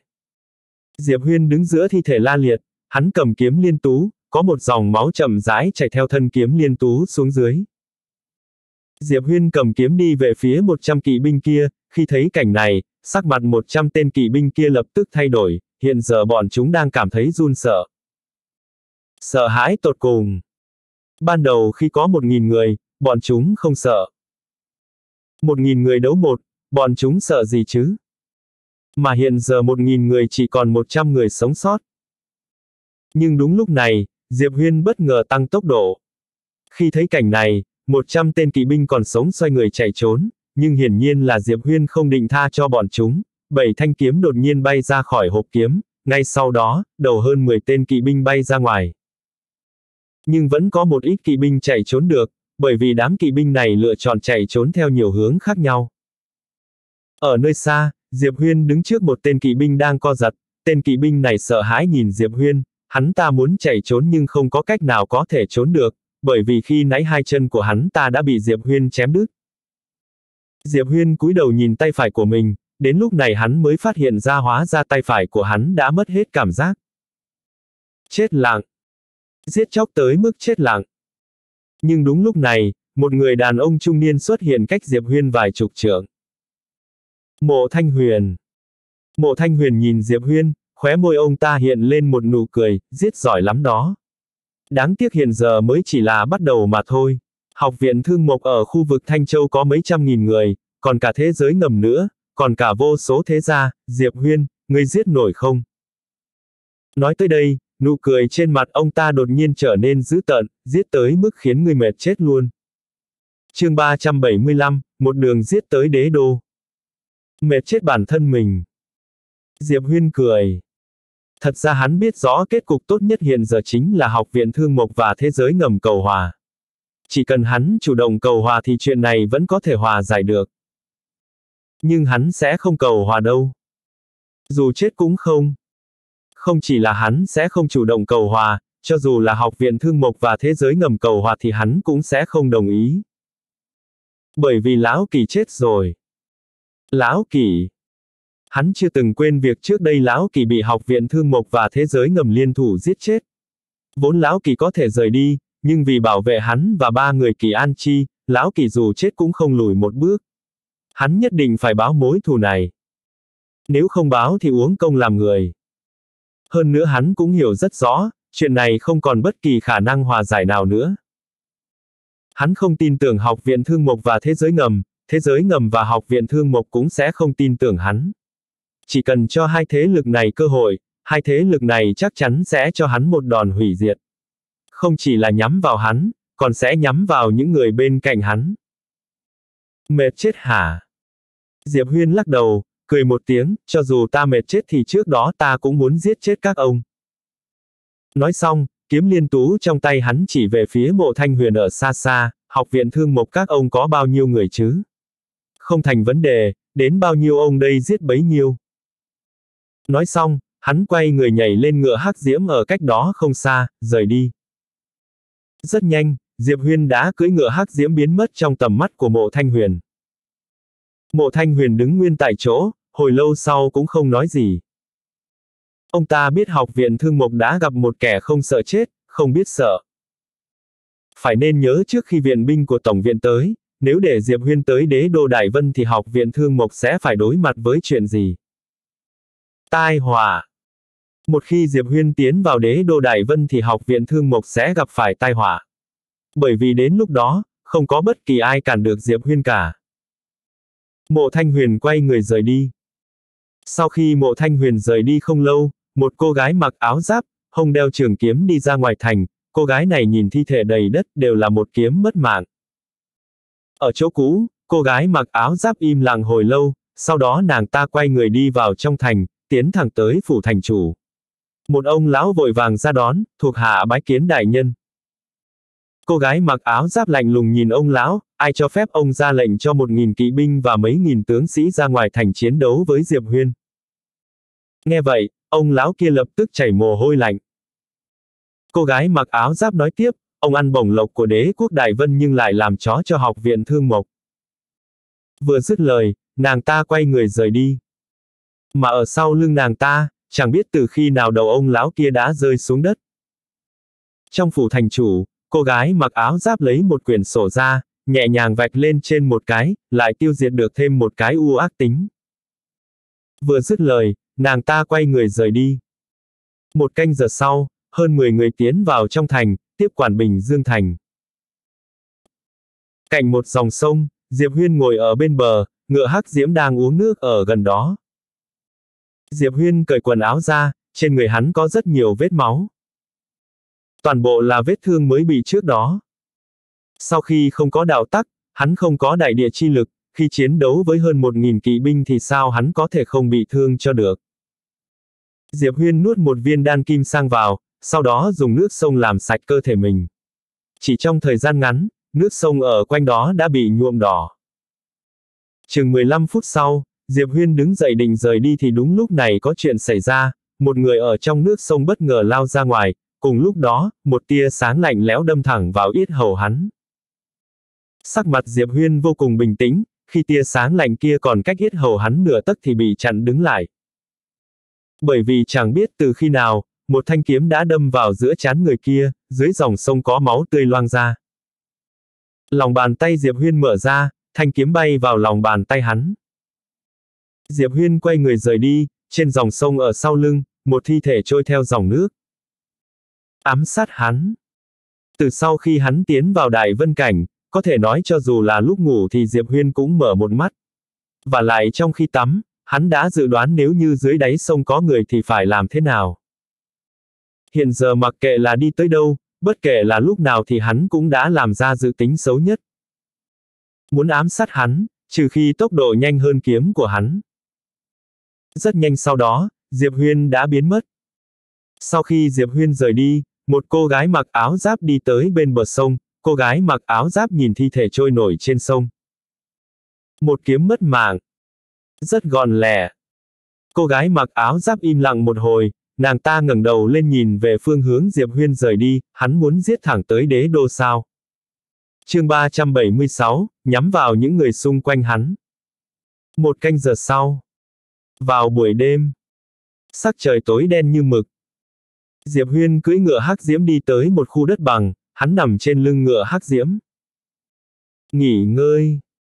Đương nhiên là hắn cũng phải nghỉ ngơi, nếu không ngủ thì tinh thần không thể tập trung được, chuyện này không tốt chút nào. Hiển nhiên cũng có người không muốn để hắn nghỉ ngơi. Trong bóng đêm xung quanh, đột nhiên có tiếng bước chân rất nhỏ vang lên, hiển nhiên là có người cố tình làm như vậy. Diệp Huyên thì không hề động đậy. Chừng nửa canh giờ sau, những tiếng bước chân nhỏ kia càng ngày càng gần Diệp Huyên, nhưng Diệp Huyên vẫn không hề có hành động gì. Thế là tiếng bước chân kia càng lúc càng gần. Đúng lúc này, một luồng kiếm tựa như một tia chớp lóe lên trong bóng đêm. Phụt. Cách Diệp Huyên vài chục trượng về phía bên trái, một cái đầu đẫm máu rơi xuống đất. Kiếm bay trở về bên cạnh Diệp Huyên, còn Diệp Huyên thì vẫn đang gáy o o. Ở một nơi khác, có hai người đang nhìn chầm chầm vào Diệp Huyên đang nằm trên lưng ngựa. Hai người này chính là ám chủ và mộ thanh huyền. Ám chủ lắc đầu, sát thủ thế giới ngầm chúng ta, cho dù là đạo binh ở Trung Thổ Thần Châu cũng không thể làm gì được hắn cả. Mộ thanh huyền im lặng không đáp. Ám chủ nói tiếp, nếu như không thể ngăn cản được Diệp Huyên, với tốc độ hiện giờ của hắn ta, sợ rằng chưa đầy nửa tháng nữa là sẽ tới được đế đô Đại Vân. Mộ thanh huyền quay đầu sang nhìn ám chủ, tòa thành gần nơi này nhất là thành gì? Ám chủ trầm giọng nói, lũng hữu thành. Mộ thanh huyền gật đầu, bảo lũng hữu thành chuẩn bị sẵn sàng, cho dù không thể giết chết người này thì nhất định cũng phải ngăn cản hắn mấy canh giờ. Ám chủ lắc đầu, tòa thành này không nằm trong sự khống chế của chúng ta. Nghe vậy, mộ thanh huyền nhíu mày lại, vậy hãy thông báo cho đế quốc Đại Vân, bảo đế quốc Đại Vân truyền lệnh xuống. Ám chủ bình thản đáp, chờ khi mệnh lệnh của Kháo Sơn Vương tới nơi thì Diệp Huyên sớm đã vượt qua lũng hữu thành rồi. Mộ Thanh Huyền nhíu chặt mày hơn. Một lúc sau, ông ta nói, đã phát lệnh treo thưởng chưa? Ám chủ nhìn mộ Thanh Huyền, hiện giờ trong cả Thanh Châu, ai dám tới giết Diệp Huyên chứ? Ai dám, ai đủ khả năng? Sắc mặt mộ Thanh Huyền lập tức xa sầm xuống. Hiện giờ ông ta mới phát hiện ra sức ảnh hưởng của Diệp Huyên đã lớn tới mức nào. Kiếm chủ trẻ tuổi nhất trong lãnh thổ Thanh Châu. Chỉ riêng danh hiệu này đã đủ để đe dọa tất cả mọi người.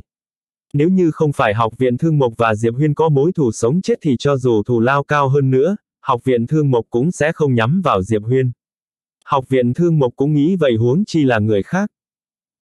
Mộ Thanh Huyền ngẩng đầu lên nhìn Diệp Huyên ở cách đó không xa, ánh mắt ông ta dần trở nên mờ mịt, không có ai cản nổi hắn sao. Nói tới đây, hai mắt ông ta bất ngờ hiện lên vẻ ác độc, nếu như không thể nhắm vào hắn vậy thì nhắm vào những người ở xung quanh, nhắm vào Khương Quốc, nhắm vào học viện Thương Lan, nhắm vào muội muội của hắn. Những người này đâu thể vô địch giống như hắn được. Nói tới đây, ông ta nhìn ám chủ, cho sát thủ thế giới ngầm và tinh anh học viện Thương Mộc ngồi thuyền bay đi tới Khương Quốc, hắn tiến thêm một bước thì giết một người của Khương Quốc và học viện Thương Lan. Để ta xem Diệp Huyên hắn có trở về hay không. Còn nữa, báo tổng viện tìm kiếm tung tích muội muội của hắn, chẳng phải là hắn rất quan tâm tới muội muội hay sao? Nếu như muội muội của hắn rơi vào trong tay học viện Thương Lan chúng ta, ta muốn xem Diệp Huyên còn ngông cuồng được như vậy hay không? Chương 377, đến đây, đánh ta đi. Mộ Thanh Huyền nói rất lớn, hơn nữa còn sử dụng huyền khí, đừng nói là Diệp Huyên ở cách đó không xa, bất cứ ai trong phạm vi một dặm đều có thể nghe được ông ta nói. Hiển nhiên ông ta làm vậy là muốn Diệp Huyên nghe thấy. Nhắm vào Khương Quốc. Nhắm vào học viện Thương Lan. Đây chính là mục đích hiện giờ của mộ Thanh Huyền. Bởi vì ông ta phát hiện ra rằng không thể nhắm vào Diệp Huyên được. Bất kể là phái cường giả hay là phái sát thủ thì đều không thể ngăn cản được bước tiến của Diệp Huyên. Biện pháp duy nhất hiện giờ chính là nhắm vào Khương Quốc và học viện Thương Lan, ép Diệp Huyên quay về. Trong đêm tối, mộ thanh huyền lạnh lùng nhìn Diệp Huyên ở phía xa xa, Diệp Huyên không có bất kỳ động tĩnh gì cả, thậm chí còn có tiếng lầm bẩm vang lên. Mộ thanh huyền không nói gì nữa, ông ta và ám chủ xoay người rời đi. Một canh giờ sau, năm chiếc thuyền bay rời khỏi đế đô Đại Vân, tiến tới Khương Quốc. Bên trong năm chiếc thuyền bay này đều là tinh anh của học viện thương mộc và thế giới ngầm. Trên lưng ngựa hắc diễm, Diệp Huyên ngồi dậy, hắn lấy đá truyền âm ra. Chừng 15 phút sau, giọng nói của lục cửu ca từ trong đá truyền âm vang ra, không cần phải lo lắng, nếu như chúng tới, ta tất khiến chúng có đến mà không có về. Diệp Huyên cất đá truyền âm đi, tiếp tục ngủ. Thật ra hắn không hề thấy lo lắng, bởi vì học viện Thương Lan bây giờ không phải là học viện Thương Lan trước đó, tinh anh của học viện Thương Mộc và thế giới ngầm tới đó sẽ không thể chiếm được ưu thế gì cả, trừ khi là đạo binh của Tổng viện tới, nếu không học viện Thương Mộc hiện giờ không cần phải sợ học viện Thương Mộc và thế giới ngầm. Trời tờ mờ sáng, Diệp Huyên đã bắt đầu xuất phát. Mục tiêu vẫn là đế đô Đại Vân. Tin tức Diệp Huyên tiến vào Đại Vân Cảnh cũng được lan truyền ra, Đặc biệt là việc một mình Diệp Huyên tiêu diệt một nghìn kỵ binh ở Bình Dương Thành, tin tức này rất được chú ý tới. Ban đầu là một đấu một nghìn, nhưng sau khi truyền ra thì trở thành một mình Diệp Huyên đấu mười nghìn, tiếp sau nữa thì biến thành một người đấu trăm nghìn. Tóm lại, hiện giờ Diệp Huyên chính là người được chú ý nhất ở trong lãnh thổ Thanh Châu. Tất cả mọi người đều biết mục tiêu của Diệp Huyên chính là thế giới ngầm và học viện thương mộc, hai thế lực mạnh mẽ nhất ở trong khu vực Thanh Châu. Vào giữa trưa, Diệp Huyên đã đi tới một tòa thành cổ. Lũng Thạch Thành. Trên tường thành, một người đàn ông trung niên nhìn về phía Diệp Huyên ở bên dưới thành, cười nói, người này là Diệp Huyên hả? Một tên thị vệ bên cạnh người đàn ông trung niên đó gật đầu, đúng vậy. Người đàn ông trung niên kia mỉm cười, không hổ là kiếm chủ trẻ tuổi nhất ở Thanh Châu chúng ta, hiếm ai trong thế hệ trẻ tuổi ở Thanh Châu to gan như vậy. Thị vệ trầm giọng nói, thành chủ, học viện thương mục truyền lời tới, hy vọng chúng ta có thể ngăn cản người này. Ngăn cản. Nụ cười trên gương mặt người đàn ông trung niên kia trở nên lạnh lẽo, lấy tính mạng tướng sĩ lũng thạch thành ngăn cản sao? Học viện thương mục tính toán hay thật? Thị vệ trầm giọng nói, nếu chúng ta không xuất binh ngăn cản Diệp Huyên, sợ rằng học viện thương mục sẽ Người đàn ông trung niên kia liếc nhìn tên thị vệ bên cạnh, học viện thương mộc. Ta chỉ nghe mệnh lệnh của Kháo Sơn Vương. Truyền lệnh xuống, bất luận ai ở trong thành cũng không được phép ngăn cản Diệp Huyên, trái lệnh, giết không tha. Thị vệ hơi khom người xuống, tuân lệnh. Nói xong lập tức quay người rời đi. Trên tường thành, người đàn ông trung niên kia quay người, lúc này Diệp Huyên đã tiến vào trong thành.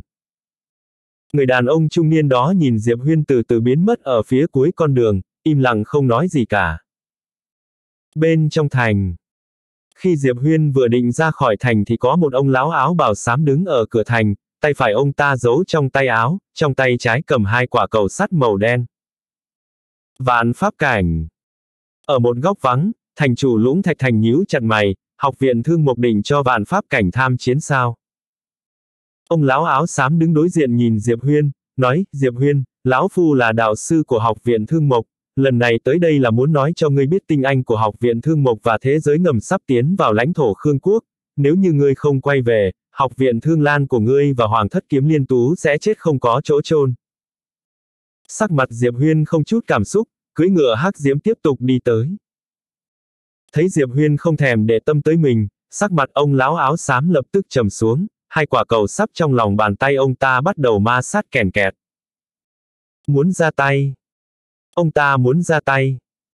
Bởi vì nếu như ông ta ra tay, ông ta rất tự tin là mình có thể giết chết Diệp Huyên, dù sao ông ta cũng là vạn pháp cảnh, mà Diệp Huyên mới chỉ đạt tới thông u cảnh, Diệp Huyên kém ông ta tận hai cảnh giới lớn. Vấn đề là ông ta không dám. Lý Mục là cường giả ngự pháp cảnh, thế nhưng cũng chết một cách không rõ ràng. Thời gian dần trôi qua, bàn tay trái ông lão dần nới lỏng. Lúc này Diệp Huyên đột nhiên dừng lại, hắn quay đầu nhìn ông lão kia, muốn đánh ta à? Ông tới đánh ta đi, tới đây nào. Bàn tay trái vốn đã thả lỏng lập tức siết chặt lại, ông ta quay đầu nhìn chầm chầm vào Diệp Huyên, gương mặt có chút vằn vẹo. Diệp Huyên bất ngờ nhảy xuống ngựa Diệp Huyên, hắn đi thẳng tới trước mặt ông lão kia, sau đó chỉ vào mình tới đây, đánh ta đi. Ở trong một chỗ kín, khóe miệng thành chủ lũng thạch thành giật giật, tên Diệp Huyên này.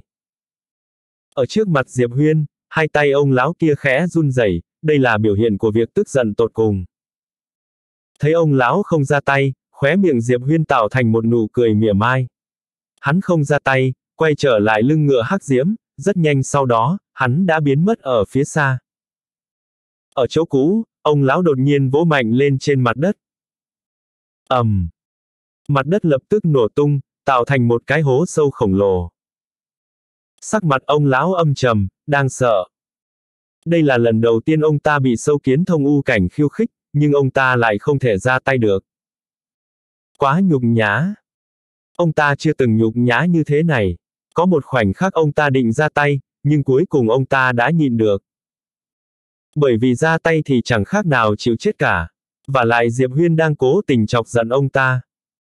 Trước mặt vị kiếm tiên kia, ngay cả cường giả như Lý Mục còn không có sức đánh trả huống chi là ông ta.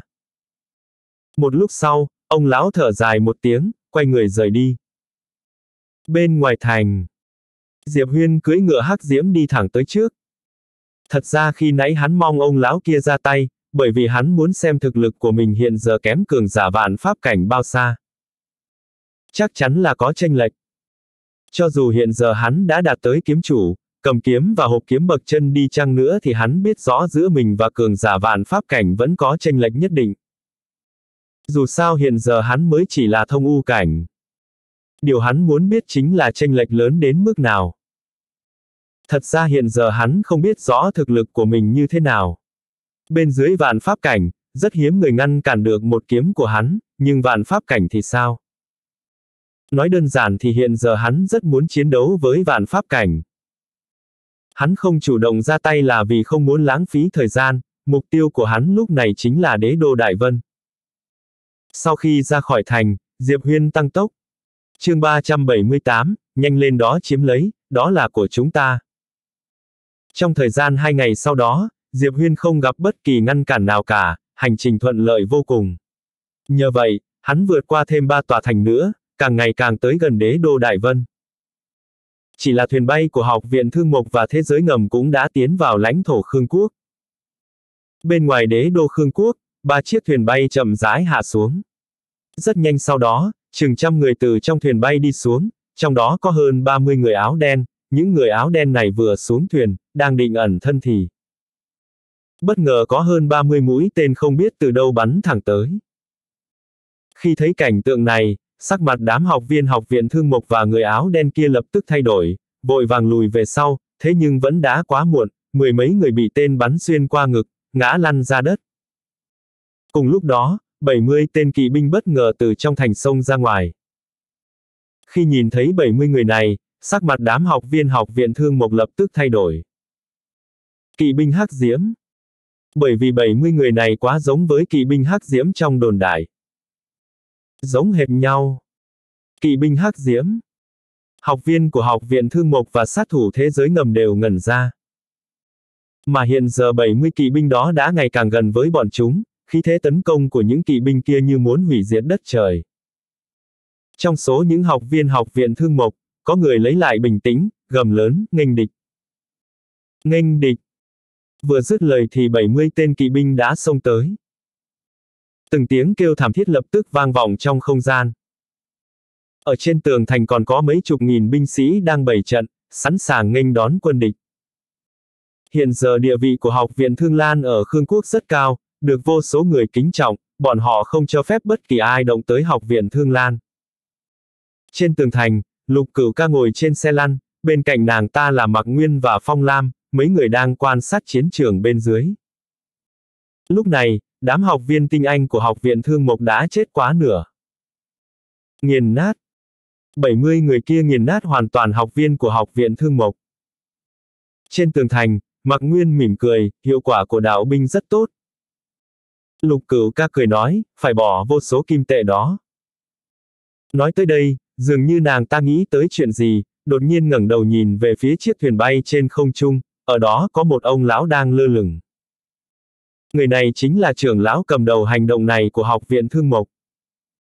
Khi nhìn trận chiến bên dưới, hai tay ông ta nắm chặt lại, sắc mặt khó coi vô cùng. Ông ta không ngờ rằng học viện Thương Lan có kỵ binh hắc diễm. Đây đương nhiên không phải là kỵ binh hắc diễm của đế quốc Đại Vân, hiển nhiên là trước kia học viện Thương Lan lấy được số trang bị kỵ binh, sau đó thành lập một đội kỵ binh mới. Lực chiến của đội kỵ binh này quá mức kinh khủng. Nếu cứ tiếp tục như vậy thì những học viên của học viện Thương Mộc ở bên dưới sẽ chết sạch. Vừa nghĩ tới đây, tay phải ông lão khẽ nhích lên, đang định ra tay thì có một ông lão áo đen bất ngờ xuất hiện ở trước mặt ông ta. Ngũ lâu chủ của túy tiên lâu. Ngũ lâu chủ nhìn ông lão, không nói gì cả, chỉ nhìn như vậy thôi nhưng ông ta đã khóa chặt đối phương lại. Ông lão nhìn về phía ngũ lâu chủ, túy tiên lâu các ngươi định. Ngũ lâu chủ khoát tay áo, đừng có nhiều lời, nếu như ngươi ra tay thì hôm nay hãy nằm lại đây đi. Nghe vậy, sắc mặt ông ta lập tức trở nên khó coi. Mà lúc này, toàn bộ học viên học viện thương mộc ở bên dưới đã bị tiêu diệt. Đám sát thủ thế giới ngầm đều đã chạy trốn, bởi vì bọn chúng không có cách nào để ra tay. Sức phòng ngự của bộ áo giáp 70 người này đang mặc quá kinh khủng rồi. Lúc này, một đội đạo binh của học viện Thương Lan đột nhiên cởi mũ giáp xuống, gương mặt thanh tú của một cô gái lộ ra. Kiếm sở sở. Nhìn những thi thể ở quanh đó, kiếm sở sở hưng phấn nói quét dọn chiến trường. Nói xong, tay nàng ta cầm kiếm ô chỉ thẳng vào ba chiếc thuyền bay ở xa xa, nhanh lên đó chiếm lấy, đó là của chúng ta. Mọi người. Đại Vân Cảnh. Ngày hôm nay, Diệp Huyên lại đi tới bên dưới một tòa thành, khi hắn định vào thành thì có một thanh niên ngăn cản trước mặt hắn. Thanh niên cầm một thanh trường thương trong tay, nhìn bề ngoài thì ước chừng 20 tuổi. Thanh niên đó nhìn Diệp Huyên, trong ánh mắt có phần hưng phấn. Bởi vì chỉ cần hắn ta ngăn cản được Diệp Huyên một canh giờ thì sẽ nhận được trăm triệu kim tệ.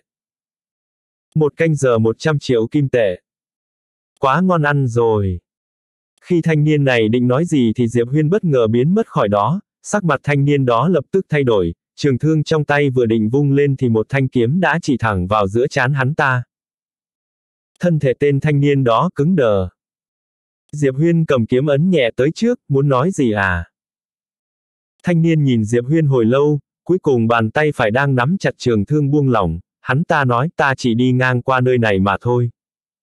Chương 379, lấy đao thanh long của bản vương tới đây.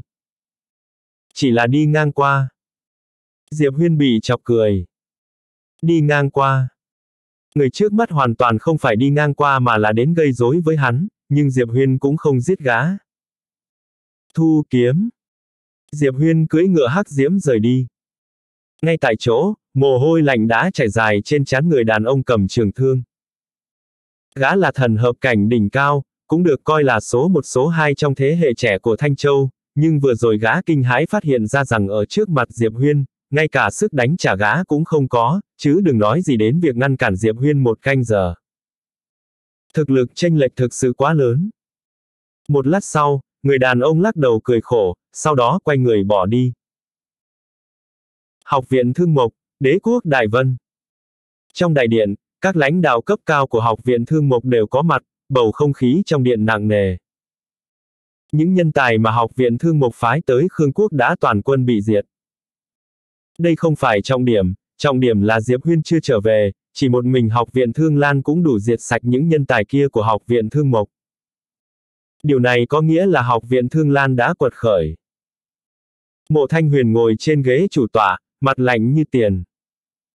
Từ lúc bắt đầu cho đến nay, học viện thương mộc ở Đại Vân Cảnh đã bị thiệt hại quá nhiều. Mặc dù cao thủ vạn pháp cảnh chưa chết bao nhiêu, nhưng các nhân tài dưới vạn pháp cảnh đã chết rất rất nhiều. Đã thiệt hại gần hết. Có thể nói, cho dù bây giờ Diệp Huyên dừng tay lại, học viện thương mộc cũng sẽ xuất hiện tình trạng thiếu nhân tài vào một thời gian nào đó trong tương lai. Suy cho cùng, các học viên trẻ tuổi này mới là tương lai của học viện thương mộc. Mà bây giờ họ lại chết mất khoảng 5, 60%. Nếu Diệp Huyên đến đế đô, chắc chắn hắn sẽ giết tới tận học viện thương mộc. Không ai muốn nhìn thấy tình huống như vậy xảy ra. Lúc này, có người đột nhiên hỏi, với tốc độ của Diệp Huyên hiện giờ, khoảng bao lâu nữa hắn sẽ đến đế đô? Một ông lão trầm giọng đáp, nếu không ai cản trở thì khoảng 10 ngày là có thể tới đế đô. 10 ngày. Giữa điện, mọi người lần lượt nhìn về phía mộ thanh huyền. Mộ thanh huyền lạnh nhạt nói, nếu không thể giữ chân hắn 20 ngày thì khi viện binh của Tổng viện đến, thế hệ trẻ của học viện thương mộc ta sợ là đã bị hắn giết sạch. Giữ chân Diệp Huyên 20 ngày. Vấn đề là làm thế nào để giữ chân Diệp Huyên trong khi cao thủ vạn pháp cảnh không thể ra tay. Mộ Thanh Huyền đột nhiên đứng dậy đi ra ngoài. Trong điện, mọi người nhìn nhau. Sau khi mộ thanh huyền rời khỏi học viện thương mộc, ông ta đến Hoàng cung đế quốc Đại Vân nhưng lại bị thị nữ chặn lại ngoài cửa cung. Mộ thanh huyền nhìn vào bên trong Hoàng cung, bẩm báo một tiếng, ta muốn cầu kiến Kháo Sơn Vương. Thị nữ hơi khom lưng, bẩm mộ viện trưởng, Kháo Sơn Vương không ở trong cung. Mộ thanh huyền nhíu mày, không ở trong cung. Vậy đang ở đâu? Thị nữ lắc đầu, nô tỳ không biết. Mộ thanh huyền im lặng hồi lâu, Cuối cùng vẻ mặt ông ta dần trở nên dữ tợn, Diệp Huyên, là do ngươi ép ta. Nếu ngươi đã không bỏ qua, vậy thì mọi người cùng nhau ngọc nát đá tan đi. Dứt lời, ông ta quay người rời đi. Trong hoàng cung, một cô gái ngồi xổm dưới đất, trước mặt nàng ta là một đàn kiến đen, cô gái đang đếm từng con một, một con, hai con, ba con. Lúc này, một thị nữ bước tới bên cạnh cô gái, Ngô Vương, mộ viện trưởng đã đi rồi. Cô gái không trả lời, vẫn tiếp tục đếm. thị nữ ngoan ngoãn lui sang bên cạnh, không dám làm phiền. Không biết qua bao lâu, cô gái đột nhiên vỗ tay, phấn khích nói, 471 con. Nói tới đây, nàng ta khẽ trao mày, sao lại nhiều hơn so với lần trước một con. Chẳng lẽ đếm sai rồi? Ta đếm lại lần nữa thử xem. Nói xong, nàng ta lại bắt đầu đếm. Bên cạnh, Thị nữ cúi đầu không dám nói lời nào. Lúc này, cô gái bỗng ngẩng đầu lên nhìn thị nữ, người mới nói lão họ mộ đi rồi à. Thị nữ vội đáp vâng, mộ viện trưởng đã đi. Cô gái khẽ gật đầu, xem ra lão họ mộ này đã cùng đường rồi, chưa biết chừng lão sẽ tung ám chiêu gì đâu. Còn thế giới ngầm nữa, hai thế lực không biết xấu hổ này, nhiều người như vậy mà lại bắt nạt một mình Diệp Huyên người ta, đúng là không có lương tâm, không có tính người chút nào, độc ác, đồ không biết xấu hổ. Bản vương không thể nhìn chuyện này được. Dứt lời, nàng ta quay đầu nhìn thị nữ, giận dữ nói, đi lấy đao thanh long nặng nghìn cân của bản vương tới đây, bản vương muốn. Muốn, muốn duỗi móng tay. thì nữ. Lại ba ngày trôi qua. Diệp Huyên cách đế quốc Đại Vân càng ngày càng gần. Vào ban đêm, bốn bề lặng ngắt, bầu trời không trăng cũng không sao, giơ tay lên không thấy năm ngón.